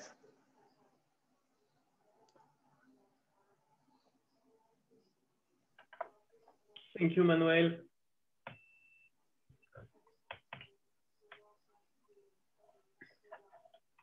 A lot of people are having. Uh, Adrian, Adrian, before finish, I would like to know if uh, if you are using if you are using different platform, so, so it can be a, a good way to, to know uh, from other tools and to make it better. So, so please let me know. Maybe then we can talk by the Discord. Let me know if you if you if somebody is uh, using different tools.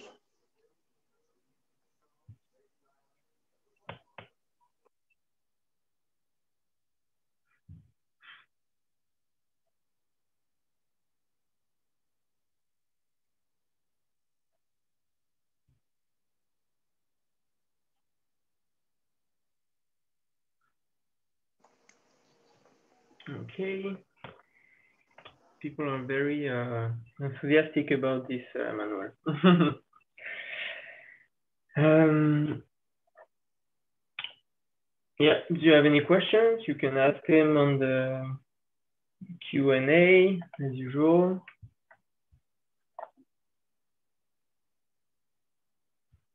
Yeah. Or we can uh, follow on with uh, Damian. Yes, hello, good afternoon. Uh, okay, uh, let me share the screen.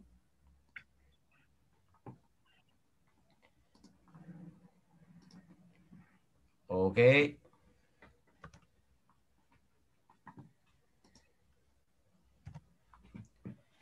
Well, uh, my name is Damian, Damian Planes.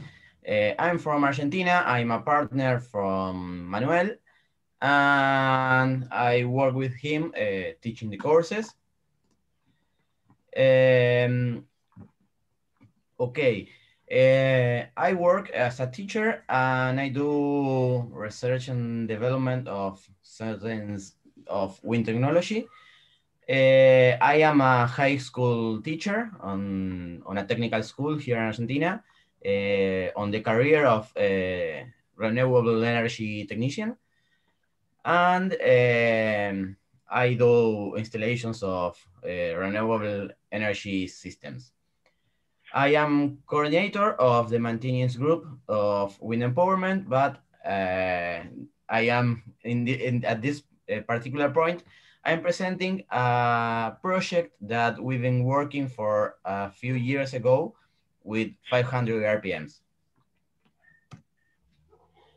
Uh, this project, uh, it's based on a micro Piggott for fund and education I post. Uh, it's mainly for reach more people with less resources, yes? it's a wind turbine that can be assembled for 14 to 18 years old kids. It can be assembled for everyone, but we oriented to, to secondary school. Okay, we've been searching for, we had these problems uh, to solve.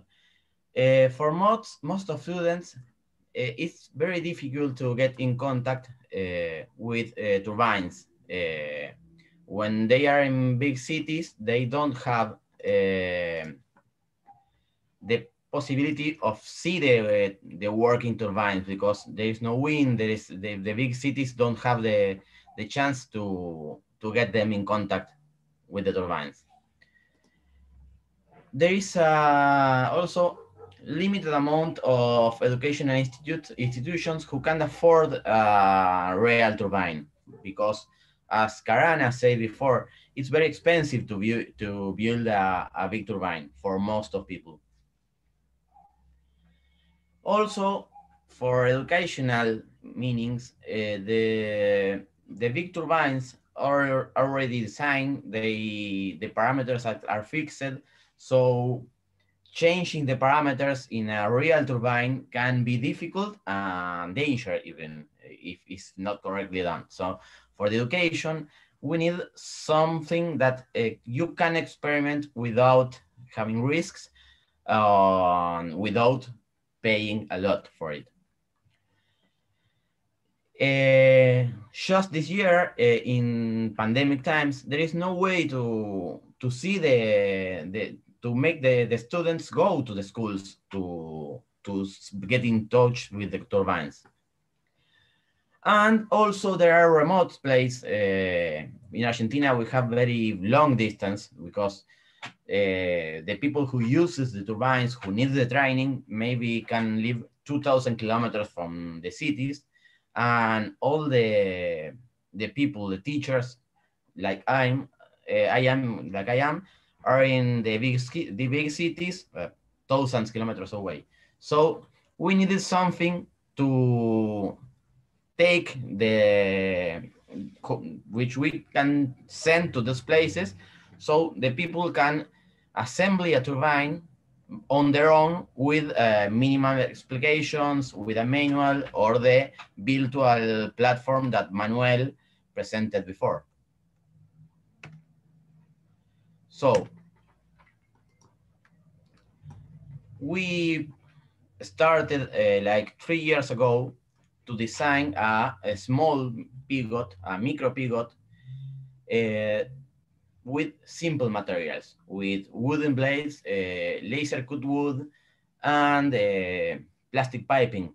So we started with uh, prototypes. We made a presentation in a school we built a lot of turbines of this type. Uh, like in one day, we built three, uh, like 50 turbines of the of these ones, and made them turn with the huge fans in the in the school, like an experiment.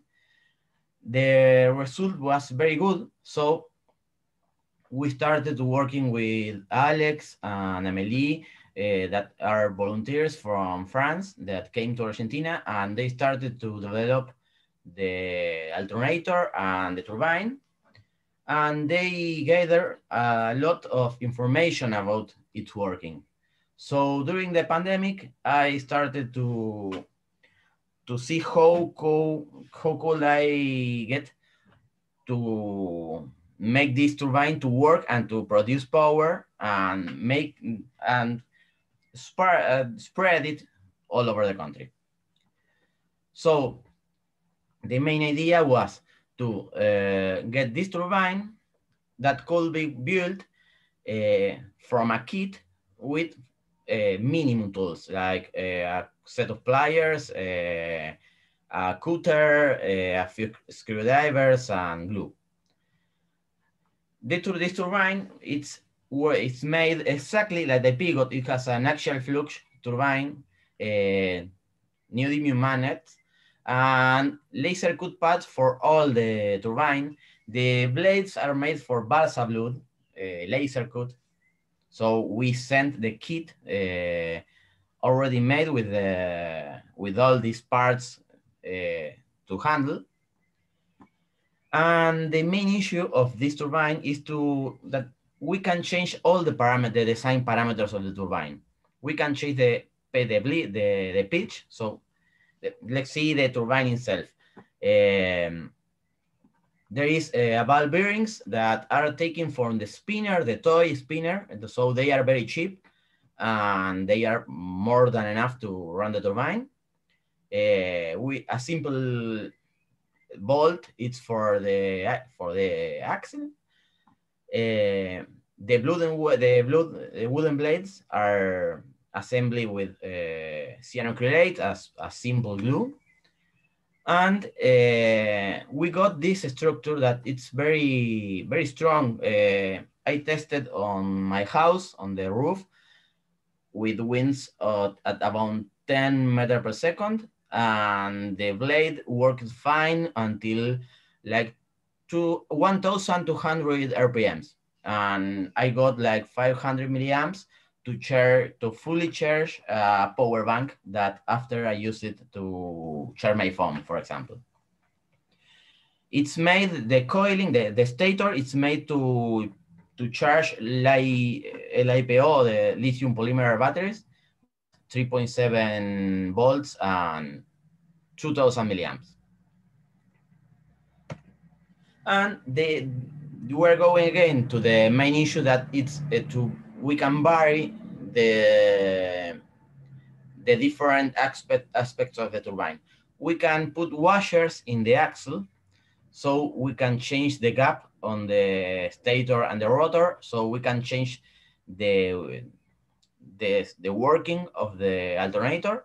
We can change this, the blade pitch using these bolts, uh, so we can put uh, the, the, the pitch we want and we can change the load of, of the turbine, of the alternator, by changing some resistance to give a fixed uh, resistance to the, to the alternator, or we can change this battery in the electronic box to, after, that, after it, we can use this power to change a phone. Or we also call, call uh, plug a, a phone by, via USB and charge it directly from the turbine with a current regulator. So this turbine works almost like a real one, but it's very cheap, very small, and we can send this kit to lots of places away from the cities. Uh, the, the kids or anyone who wants to build it can build it at home and for that, we, here's the electronic box. For that, we made a, a very complete manual. So we can, with this manual, we can, they, if we follow step by step, uh, we can build the turbine very easily. Uh, here is a description of the electronic box with the schematics. It's very simple. So the kids uh, should not have no problem to make it.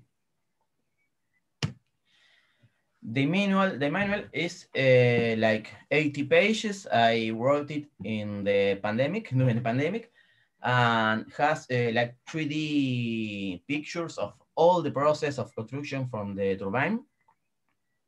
And uh, also, uh, there's another manual with exercises, uh, theoretical knowledge and basis to, so the people who build the turbine, after the turbine is built, they can make these exercises to get pedagogical experience uh, on the turbine, on the work, and the, the theory of, of the functioning of the turbine.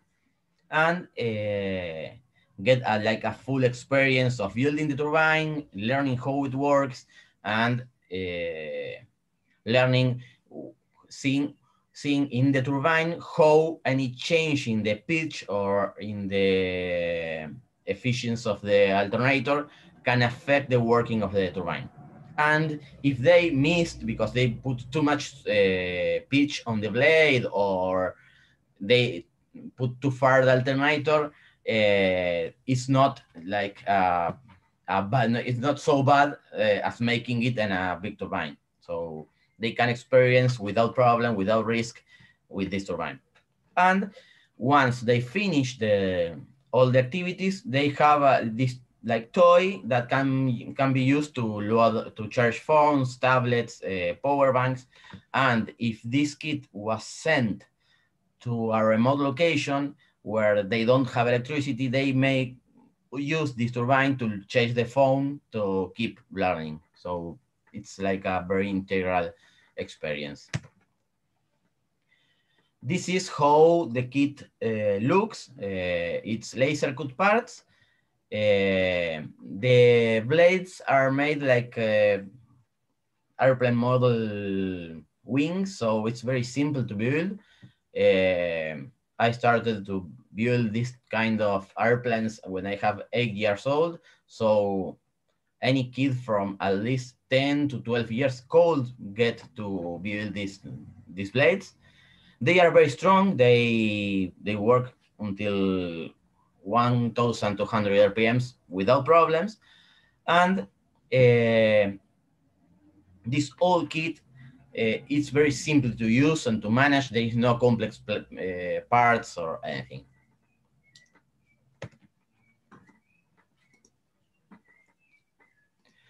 So what the, sorry, I went uh, one more. Uh, what are we planning to do with this toy? Uh, the next, we are, we already have four prototypes to test by beta testers and one prototype working to which we may, we used to make the, the, the statistics of the turbine. And the next step will be to make the 3D printed parts so we can enhance a lot the working of the turbine, make it uh, more reliable, uh, and can be printed in any school. In Argentina, all the technical schools have 3D printers, so we can send the model and the manual to the schools and in the school they can print the turbine the parts and build the rest of the parts that can be printed uh, at uh, local shops um, there is a when you have a nice product you can get more easily to be both for for for enterprises and anyone who wants to share to collaborate with the with the project. So if we send a nicer turbine, it's maybe less difficult to get the fundings for implement this kind of projects. And well, it's, it's a way to to take the this technology to any place uh, and use it very simple. I have some videos of the turbine working. This is, so this is, here is spinning very, very, very slow, but I tested again at day, that day at night and I got this, this working. I don't know if you hear the audio. Yes, we can hear. Okay. It's very windy. Yeah, that day was like eight uh, meter per second way a day, and the turbine reached like 900 RPMs. But it went faster and with no problem, no, no structural problems. Uh, in this video, uh, the, the turbine is tied to a table and a very strong gust made this table to work like one meter uh, back. So we, you have to fasten very tight the, the turbine so it will not, so it don't doesn't blow away.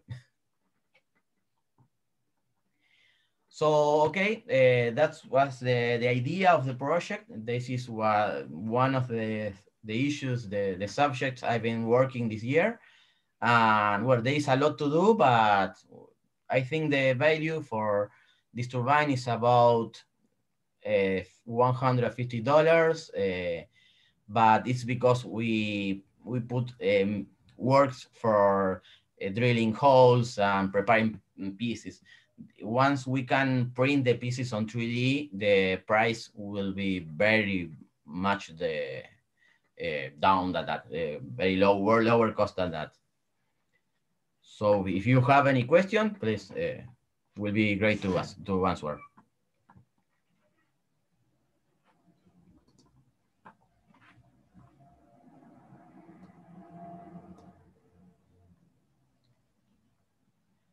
I see the question from Ram Pers. Uh, how is the RPM measuring being done? We measure the frequency of the alternator and made a calculation uh, for a three phase, it's a three phase uh, alternator. So we make the conversion and take the RPMs from the frequency of the, the alternator. Uh, Chin, about the wobble on the axis. Uh, we, I have just found a bolt that fit exactly on the spinner bearings, so uh, it doesn't move, doesn't don't, have any problem. It works perfect. Uh, you can see in the presentation. I will change the the slide. The, the exact structure of the of the head of the hub you have the, the bearings. These are wood pieces, uh, cylindrical, and this is the bolt that goes to the propeller. So here is the rotor with the magnet, here are the stator with the coils, and there is a spacer here that prevents the rotor to hit the magnet. So it's very simple. It's a bolt with washers and a spacer. And Jonathan, I used a Fusion 360 from Autodesk.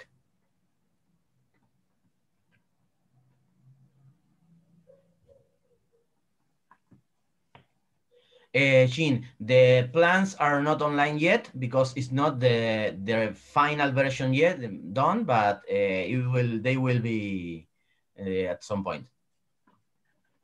So it is open source. I think yes. Uh, I am making all the design, uh, but it, it, will be open source. Yes, yes. Uh, it will be published um, when I had the final version. Uh, we have these four prototypes to be sent to beta testers, so they will be give me my, the feedback from the from the building, and after that we will make the modifications that could appear and after that, I think we're gonna publish the, the manual and the, the plans. So what do you use to hold the, the windings into place? The windings on the place. Uh, you mean these bolts? Uh, these are Cooper bolts and they use for, for plumbery. Uh, these bolts like take the fix the the coil mm -hmm. to the stator. Okay. Uh, I the, um, if you want uh, at the at Discord, I can share after uh, some 3D pictures of the of the coil fixed to the stator. Mm -hmm. it's very simple. You make the the I didn't put the pictures on the presentation, but the coil winder it's it uses the same hub, but with a different uh, axle. This axle, we put the core of the, of the windings.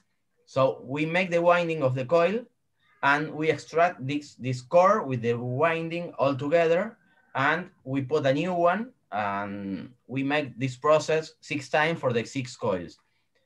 When we okay. have the six coils, we bolt them to the stator and they got fixed on the on the stator and the stator to the hub.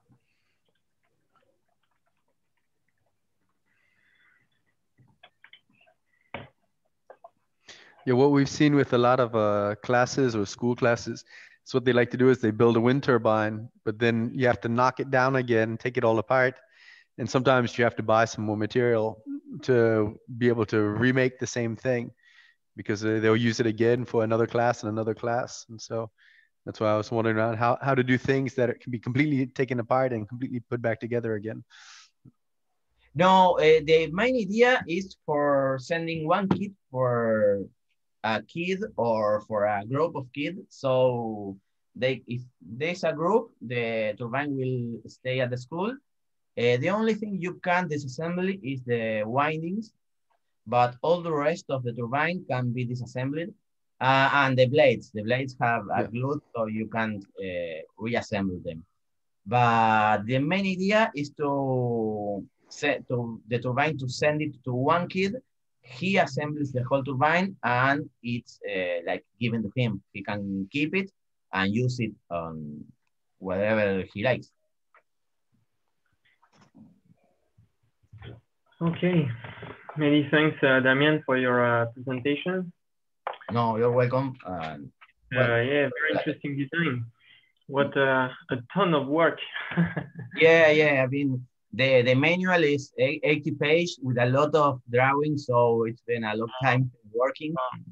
And I've been learning how to 3D model over the process, so I, it was a very interesting work.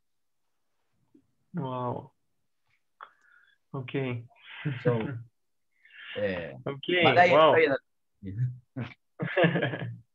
Super. I think that, that we launch uh, a, a bunch of uh, of discussions on the Discord, uh, on the education working group Discord uh, channel about that. Um, okay, I think this is uh, close to be the time uh, to finish this uh, education session. Before uh, finishing, I'd like to thank a lot all the, the panelists that made the effort to to synthesize uh, their work into presentations and uh, display very different and complementary material to us uh, today.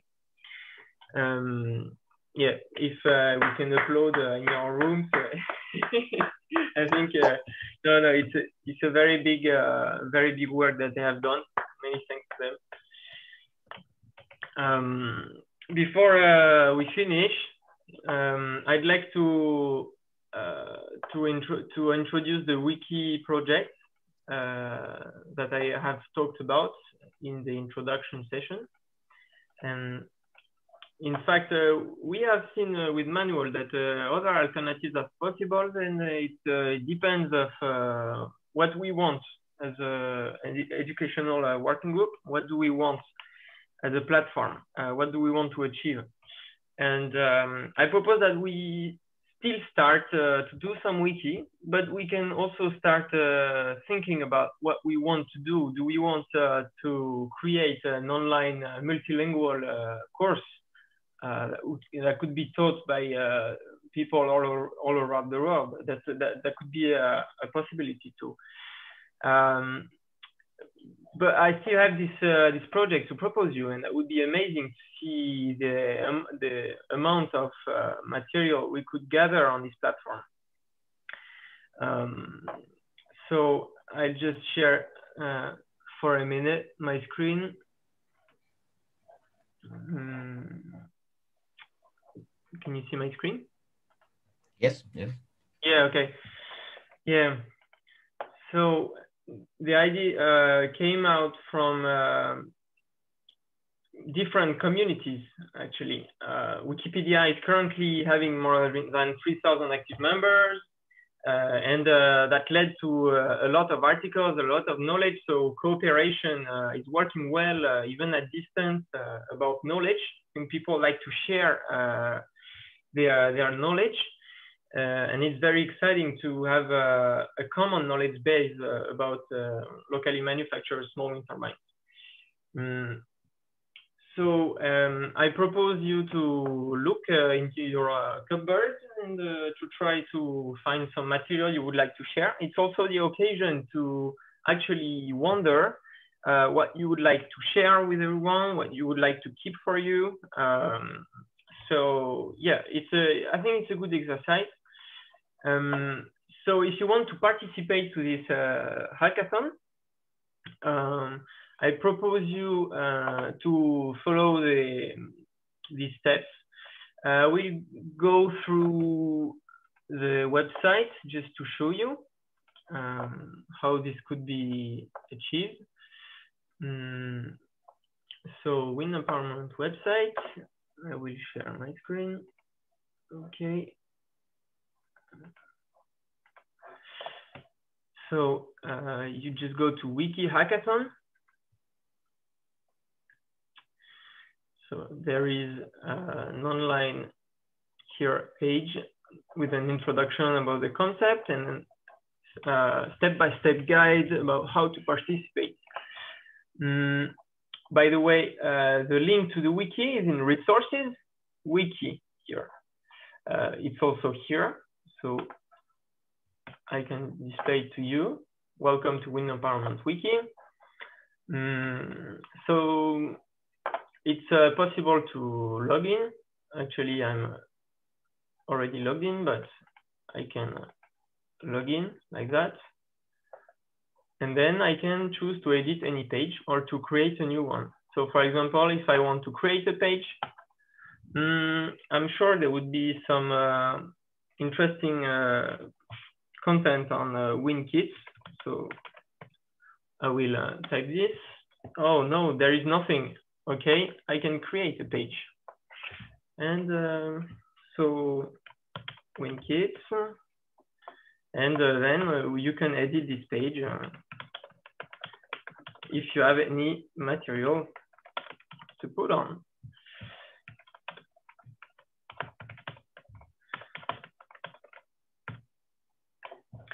So you can preview, you can say, oh, wow, amazing.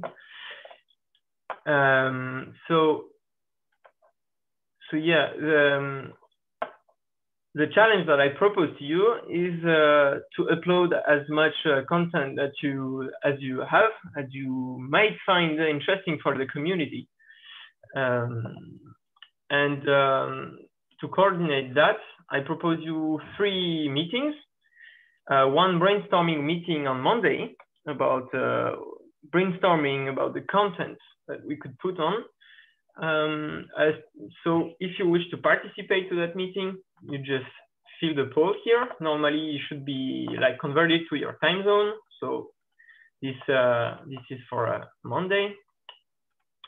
Uh, there is another meeting on Wednesday, etc. And the final meeting will be on Friday, which is uh, which will be the day um, to actually synthesize uh, to to look at all the material that have been put on the wiki uh, and to present and to collaborate to make a presentation uh, for the hackathon output that will be that will take place on Sunday.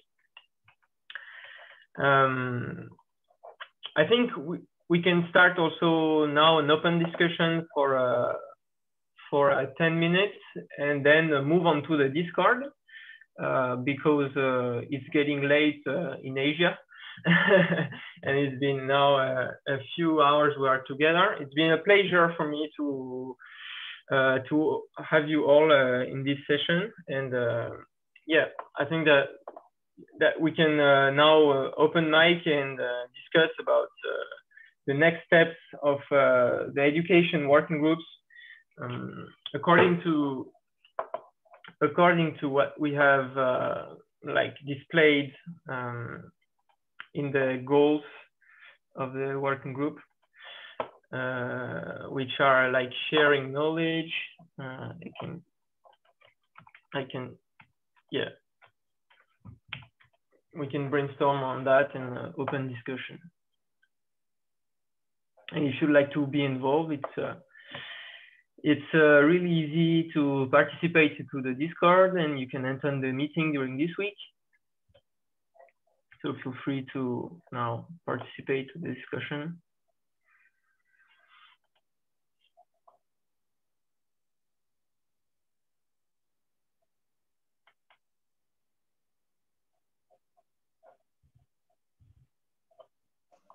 Adrian, for the hackathon, can we just go in and start doing stuff, or do you want folks to wait until the meeting on Monday?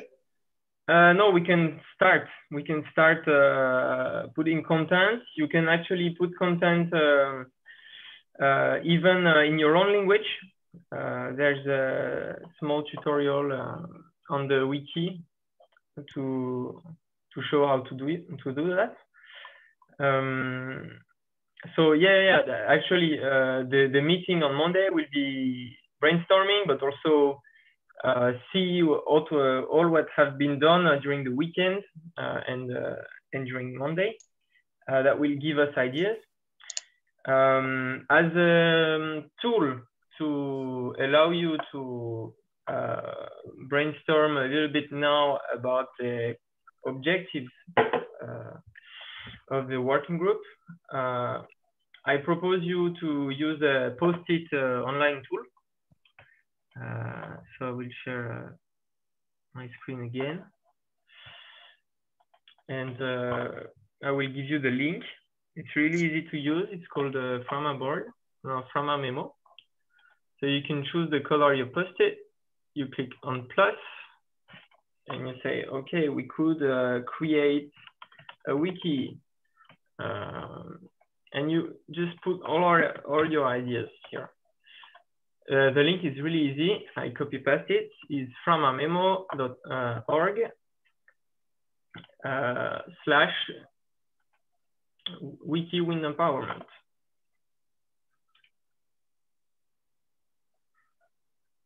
So I put it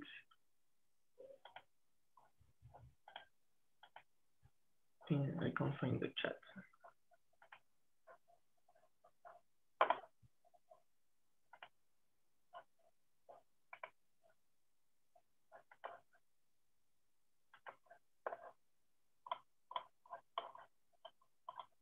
I hope you can see uh, the link here.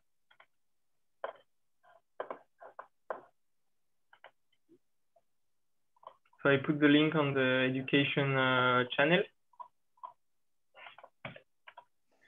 on Discord. And let's see what uh, ideas you have. Feel free to, to talk. Normally I uh, enabled uh, everyone to talk.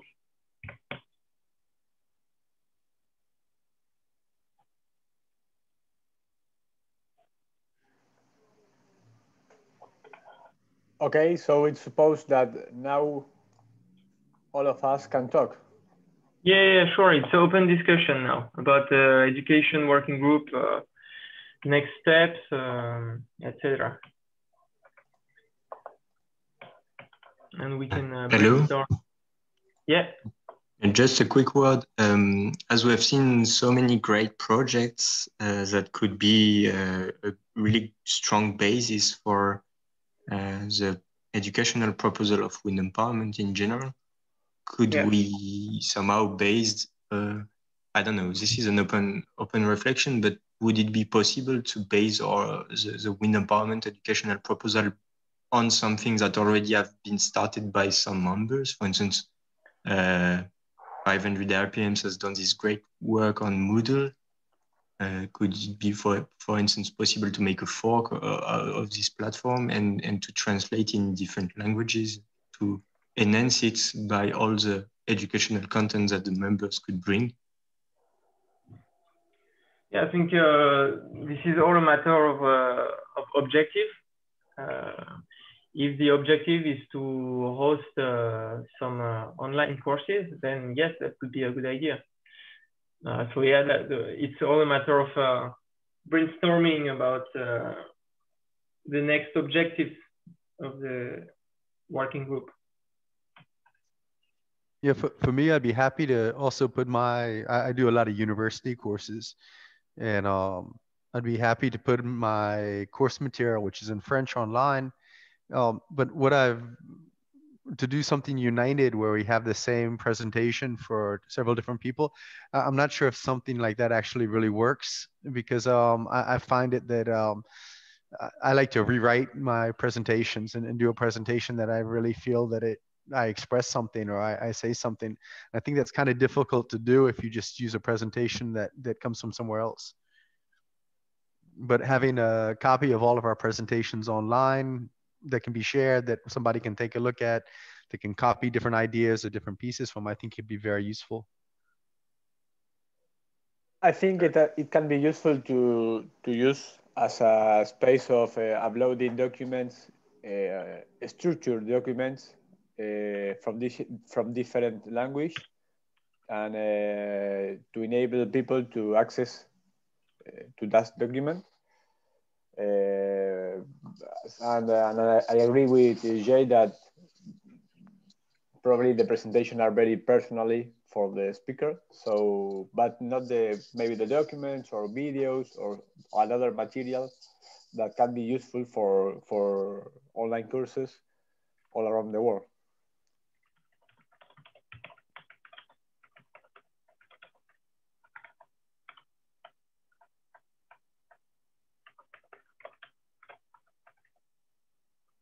One thing I think that's really interesting as well is seeing uh, so many of the projects also using a little bit of low tech and making fairly small wind turbines, um, which for a moment was kind of the opposite. Everything was getting bigger and bigger. And now going back to having um, small designs, there's uh, Clément Julin who had worked in Senegal on a, on a small one meter machine as well. And it's kind of interesting to see how we can make machines also really cheap, really easy to make, and that can be built uh, locally and be very accessible in different areas. And I think that's really, really fascinating. Hmm. From my experience, I, I really had a lot of trouble trying to miniaturize a wind turbine. I, it really gets harder and harder as soon as you try to make a reliable and robust kit that doesn't reuse uh, car parts for the hub. For instance, I've seen like I, I had a really bad experience with Wobble by using uh, threaded rods and, and bearings so I, I, I really enjoy having these discussions of uh, and presentation on a new way of kits of some, some really small power kits because it's really harder than than than something that one can think of and it, it would be really great to to foster and and to share all these uh, ways of making really small kits to propose something uh, more robust together yeah, uh, something about the small kits. I think we don't pursue the the strongest turbine with the small kids. We we we prioritize the the teaching, the pedagogy, but I think uh, with a, a, a bit of development, we can make also uh, strong uh, small turbines, but it will take time.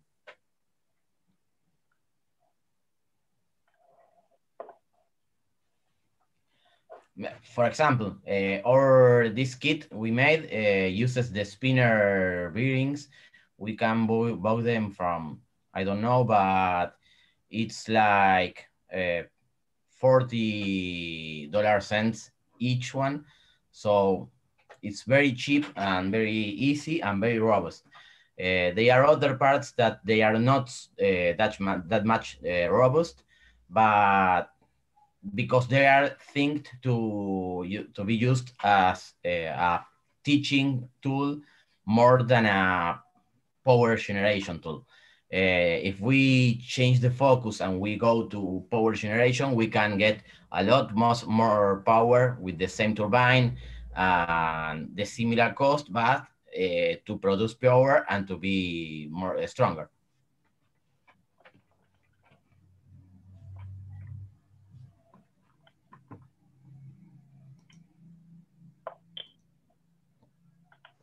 Adrian, about the, the objective, the next uh, objectives of the group, I think it could be a good idea to to try to collect uh, more experience or more educational experience around the world.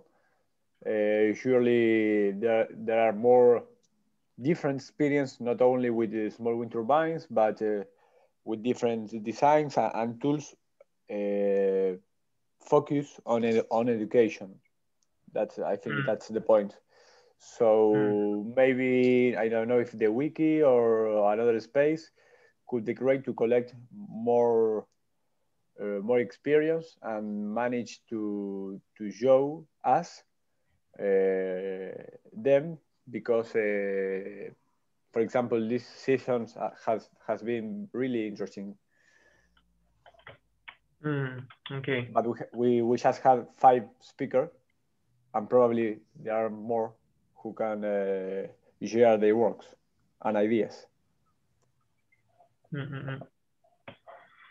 Okay, so if you can see uh, on my on my screen, uh, we are on the post-it board. Uh, on one side of the post-it board, there is a next objectives of the working group. You, you could put your ideas. So, for example, Manuel uh, was uh, share uh, material about educational projects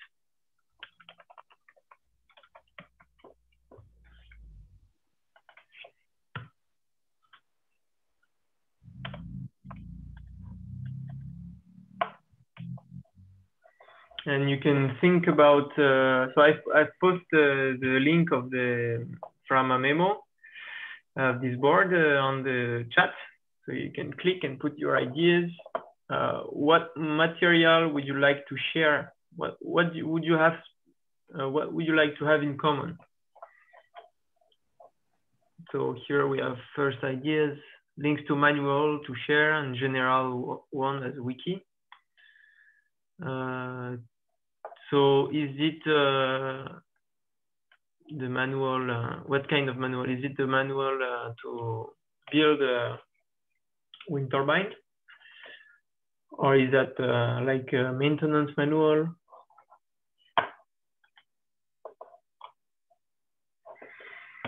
So Jay says, it's important for the wiki to be structured from the beginning to be clear where to put the information and where to find information.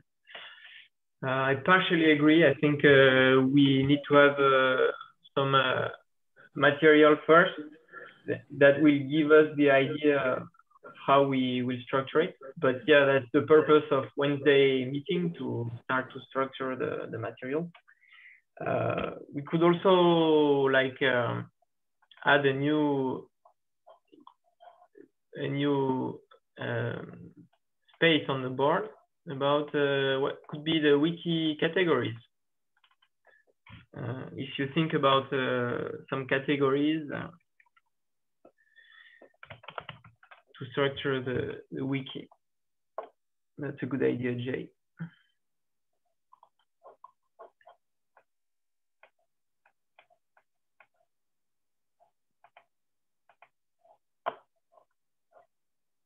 Feel free to put some post-its if you like.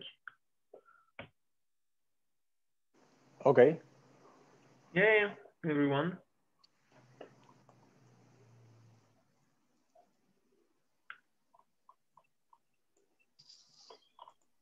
Well, um, hi everybody. Can you hear me? Yes. Yes, uh, it's uh, Guy from Luxembourg. Um, um, I'm for 15 years uh, with my project Wind Mobile. I participated uh, several times on uh, wind empowerment um, um, conferences.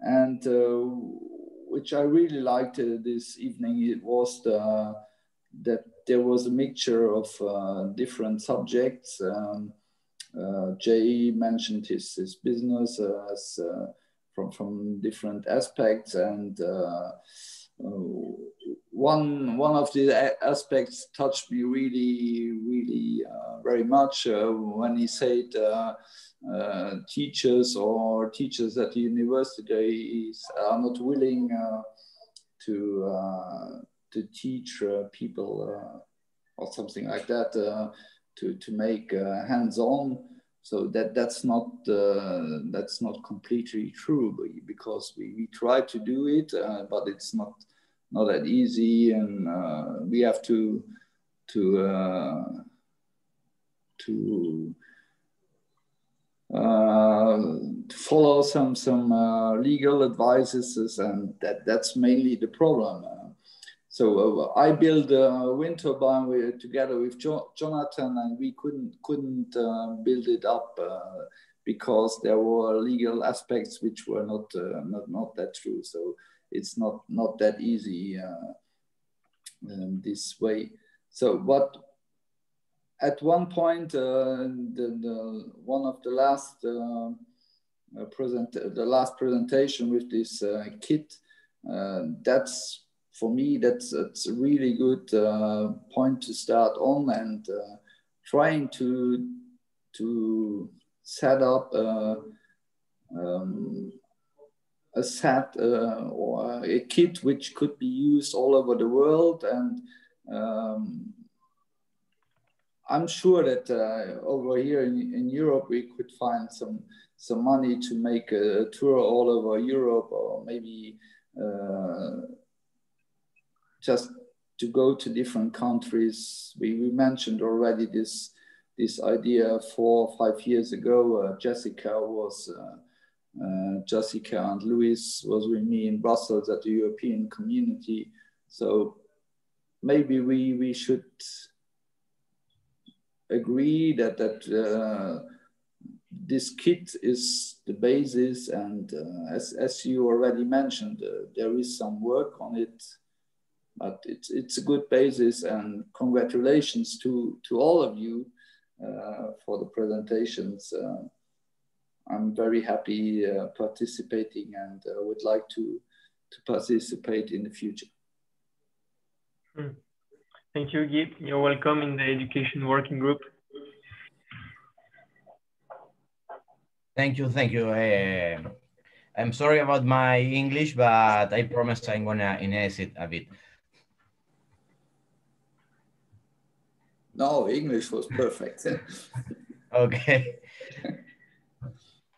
but yeah, I think this is a very interesting tool. Uh, overall, in in remote places, uh, it's very difficult to reach with the technology and the, and the turbines. And this, you, this possibility of sending the kit away and teach on distance is it's very, very positive.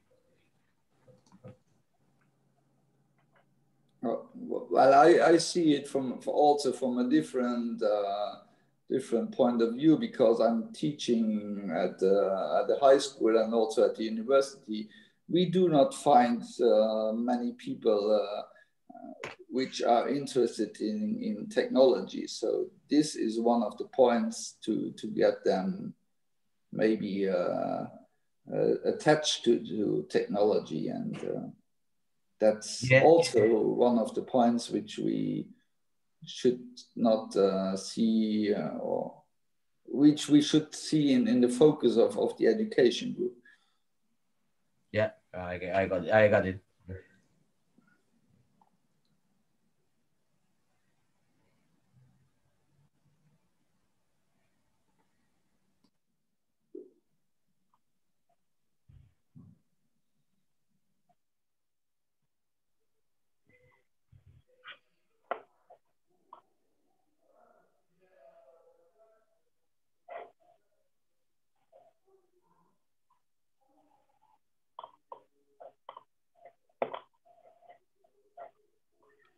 Yeah, a lot of ideas, uh, good ideas going on this uh, board. Feel free to participate.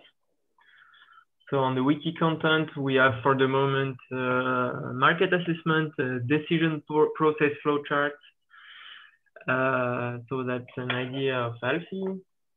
Uh, that's there is an idea of structure, which is a chrono chronological structure from design to installation.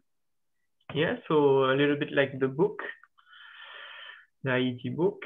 Um, there is a proposal matching blade design to alternator, which is actually a, yeah an essential point. Um, next guys, can you hear me? Yeah, Luis. I just wanted to give a quick suggestion because I, I wrote it on the on the Q and A, but nobody picked on it. Uh, we actually built a wind test rig, which basically is uh, we used a, an already existing um, three-phase motor from you know that you can buy uh, off the shelf with a voltage uh, with a sorry speed controller. So we bought this these two together. Um, actually, we we recycled. The motor was gonna go. It was operating, but we didn't have the speed control. So we bought the speed controller associated with the motor. We got some aluminum, you know, the profiles that we cut, and we assembled the whole thing. And we had at the end a a small wind turbine um, rig, test rig.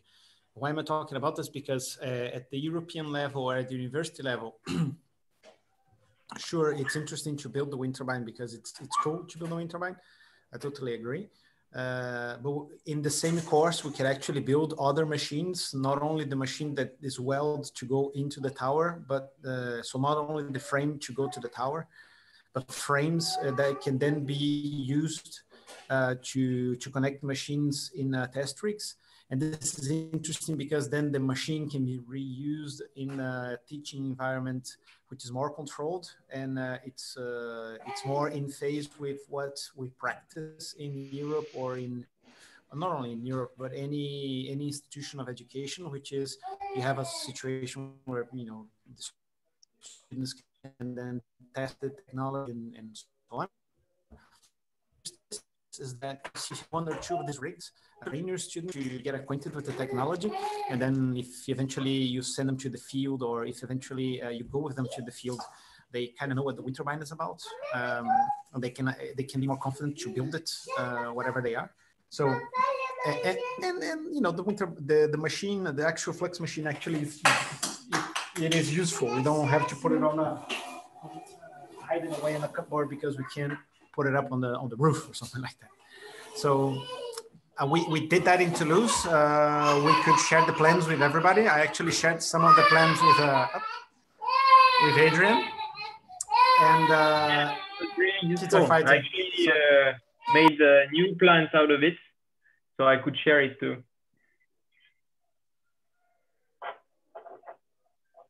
So anyways, that could be that could be interesting on the wiki content. That could be a very good idea. Luis, yeah, you know, sorry. Uh, sorry, go ahead. Sorry. No, I was told, I was about to tell to Luis, uh, we have in the secondary school, uh, not my secondary school, but the Ministry of Education of here made a mobile mobile laboratory with a test bench just like that. So we take this truck uh, with this uh, mobile mobile place uh, all over the schools in Buenos Aires and all over the country, and we make tests with the, this test bench with the turbine and this motor, and we make the students assembly all the system on circuit board. Yeah, I think that's uh, in terms of education, uh, thinking about uh, the good thing, the interesting thing here. See, if you have a, I don't remember by by heart, but uh, if you have one or two HP uh, electric machine, it could be an asynchronous or synchronous motor. Uh, they are not very powerful, but they're powerful enough so that they can actually simulate the wind and wind gusts for very small Piggott machines um, so the one meter machine versus 1.2 meters. So that means that we can actually, at a very low cost, uh, build uh, already a, quite small uh, wind turbine rig, which you can then use to train people for some reason, for some course uh, equipment or something like that. And you can also scale that up. That means that the, the if you have a, say the, the 4.2 meter machine, you can, you can actually have uh, some off-the-shelf 17 kilowatt or more uh, electric machine with its own uh, um, speed controller. It's kind of expensive, but it's way cheaper than actually building a, a rig uh, for for you know for sometimes you can actually recycle that. You can find those uh, those machines somewhere. So I think there is some interesting work on that on building rigs uh, so that the students, it's kind of like a middle ground. If you have the rig, you can always use the your your Piggott machine on that rig. Uh, if you respect, say, the placements of the three threaded rods for the stator, and and that that should that should be enough to be sure that it can kind of fit in the rig, or you can think the rig around that kind of uh, you know accommodating that. But anyways, that means that you can actually build the machine. Uh, use it on the wind turbine that goes on the roof or, or wherever it goes. Uh, but it can actually, if you cannot actually install it on the field, you can actually take that machine, even though the frame and the tower and the blades, they, they're still there. You can still use them if someday it's possible. But you can take that machine and put it on the rig and test and, and work on it and, and, and try to learn about electric machinery. And that's the kind of interesting, you know, you build your own rig upon which you do your own experiments that is could be interesting for a lot of uh, high school, college uh, level uh, teaching.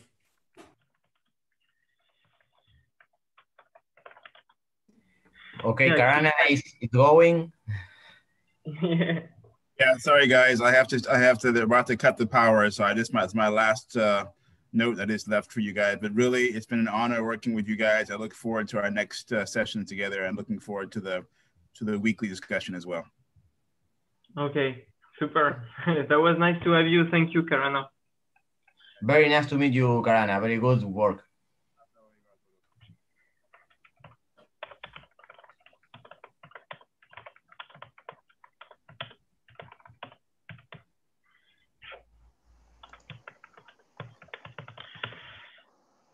So, yeah, Alfie has a, a proposal. Um, about the wiki, like to to use uh, students uh, like uh, university students uh, projects uh, yeah. to fill the wiki. Adrian, I can I can quickly. Yeah, you can uh, you can talk about it. Sure. So um, I've just finished university here at the University of Strathclyde doing a PhD. Um, and there is quite a large group of um, students also beginning their PhDs. Um, they have a lot of experience, they've got a lot of support from professors and so on. Um, and in my mind, the best way to learn is to teach. Um, so my proposal would be that I can I can go to the professors of, of the university and suggest uh, that these students contribute to the wiki, perhaps not on small as that's not their area of expertise, um, but certainly, if we're looking for more um, more workforce uh, to do things like building pages on the fundamentals of wind power, the history of wind power, and so on, um, I think it would be uh, a good opportunity of having that work done, uh, so we can focus on the more specific things uh, relating to small-scale wind power and rural electrification. Um, the danger of that would be if if we set these uh, these students to work uh, without having a structure in place already, uh, it might get a little messy. So my suggestion would be, uh, it once a structure is agreed, uh, then we can start, you know, uh, outsourcing mm. outsourcing this uh, this work. Yeah. Mm. Yeah, super. Um, actually, I I wanted to show you uh, the Energypedia wiki portal, if you can still see my screen. So uh -huh. this uses the same software as uh, we use, which is DokuWiki. So this is the Energypedia is a kind of a Wikipedia on energy. Uh, they are doing uh, solar, hydro, bioenergy, wind, improved cooking, productive use, mobility, etc. Um, our friends are uh, at Visions are currently uh, it's a they are a partner with Visions, and uh, there is a wind portal so there's a bunch of things about uh, big wind, uh, a little bit about small scale wind, but nothing about locally manufactured uh, small wind turbines and uh, these kinds of projects. So I think we really have a space uh, despite uh, there is also a lot of stuff on the internet, we have a space for a locally manufactured uh, small combine uh, wiki, uh, something like is uh, member oriented, like that can be useful to the members. Um, yeah, so that's uh, what I wanted to share with you in reaction to what you just said. So mm -hmm. yeah in, uh, in my opinion, that's uh, really interesting to actually get the students doing something useful when they study. Mm-hmm. Uh, in my when they like, uh, it's a shame to produce a report that is uh, read only by one supervisor and then uh, lost forever. yeah, exactly. The, for my like for my university projects, I always try to uh, do something useful, like uh, fill, uh, fill a wiki or something like that. Mm-hmm. So that could definitely be an incentive for pro, for students and professors. And so yeah. Um, sorry, Adrian, just a, a quick point. Um, so you you raised Energypedia there, which I have used in the past before. I'd, I'd forgotten about it briefly now. Um, but would a sensible goal be to input our knowledge into that? Because Energypedia is a well respected and well used resource. Um, you know, we, may, it's possible that we don't want to reinvent the wheel. Um, it's possible yeah. that if, if we can plug yeah. our knowledge in, then yeah. that, that would be a, a good goal. Mm-hmm. I think uh, the, the, it's good to have uh, something we are not afraid to put content on Sure. Uh, so like uh, if we start our uh, proper wiki and it's getting bigger and bigger and more and more like and more and more relevant, we could always move the content to a place that gathers other resources and mm-hmm. uh, I think it's good to gather uh, stuff in one place so it can benefit to a maximum of people. Yeah. Uh, but in the first, uh, as a first step, I think it's good having a draft and uh, putting content and trying to, to structure it. Mm-hmm. So that's why we we have this this wiki. Yeah, absolutely.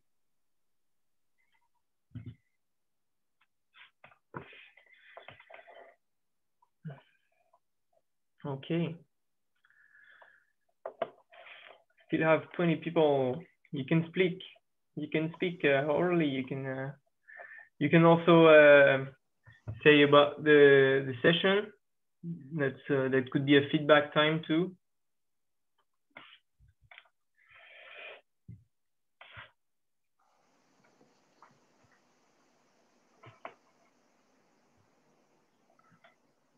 Like uh, Guy did. Well for me it was really good, Adrian. I I told you yet uh, recently, so really nice to to be part of of the of the panelists and, and to listen to other panelists and see all that in this.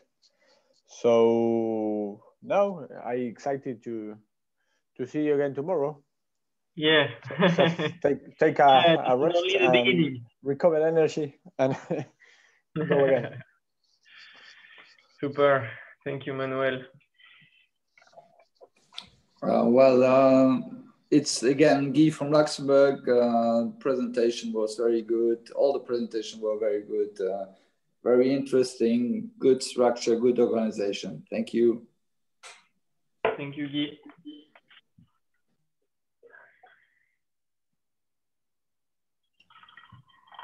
Well, uh, it was a pleasure to be part of this.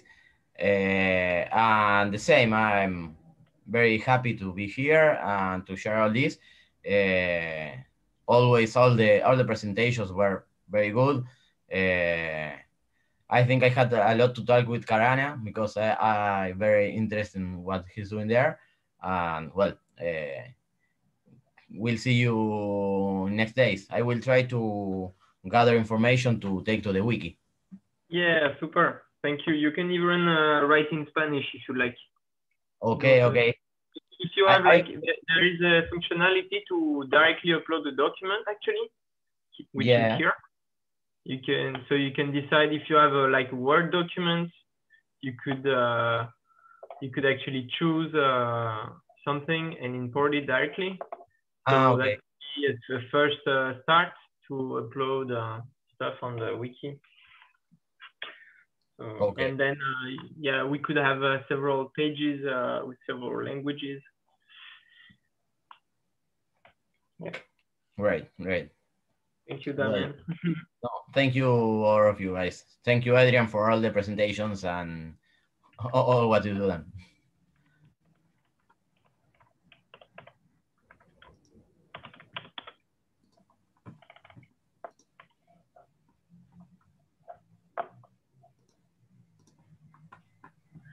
Yeah, it's Jonathan here. And uh, I also wanted to say thank you for all the nice presentations. It was really well organized to me, and I really enjoy listening to it. Some really good topics. And I like the vibe of having the whole thing online. It's new for me, and I would love to see you in person, but still, it's, uh, it's great to be here and to collaborate and talk. And I'm looking forward to the next few days. Uh, I like to contribute to the book and to the wiki as well. Looking forward to these meetings and sessions that we will have during the week. And yeah, so thanks to all. thanks Jonathan and see you tomorrow for charge controller panel Uh, I only I'm gonna have to talk to my students because they know very much better than I to how to use Discord. So I I will talk to them so they teach me. okay, see you later, guys. I will take around for Discord and see you tomorrow. see you. If we don't have any more uh, comments, also in uh, the five minutes, I will close this session because it's recording and uh, it's gonna be very long. yeah.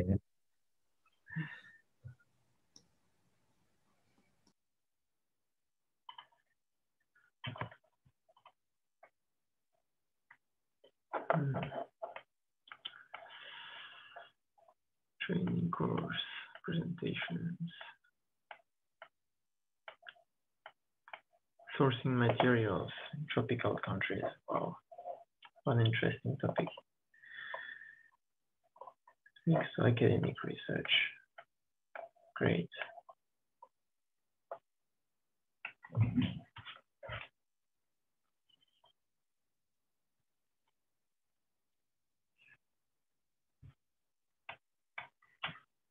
Well, thank you everybody for uh, participating and uh, see you tomorrow for the measurement session and uh, for the technology working group session. Uh, have a nice end of day.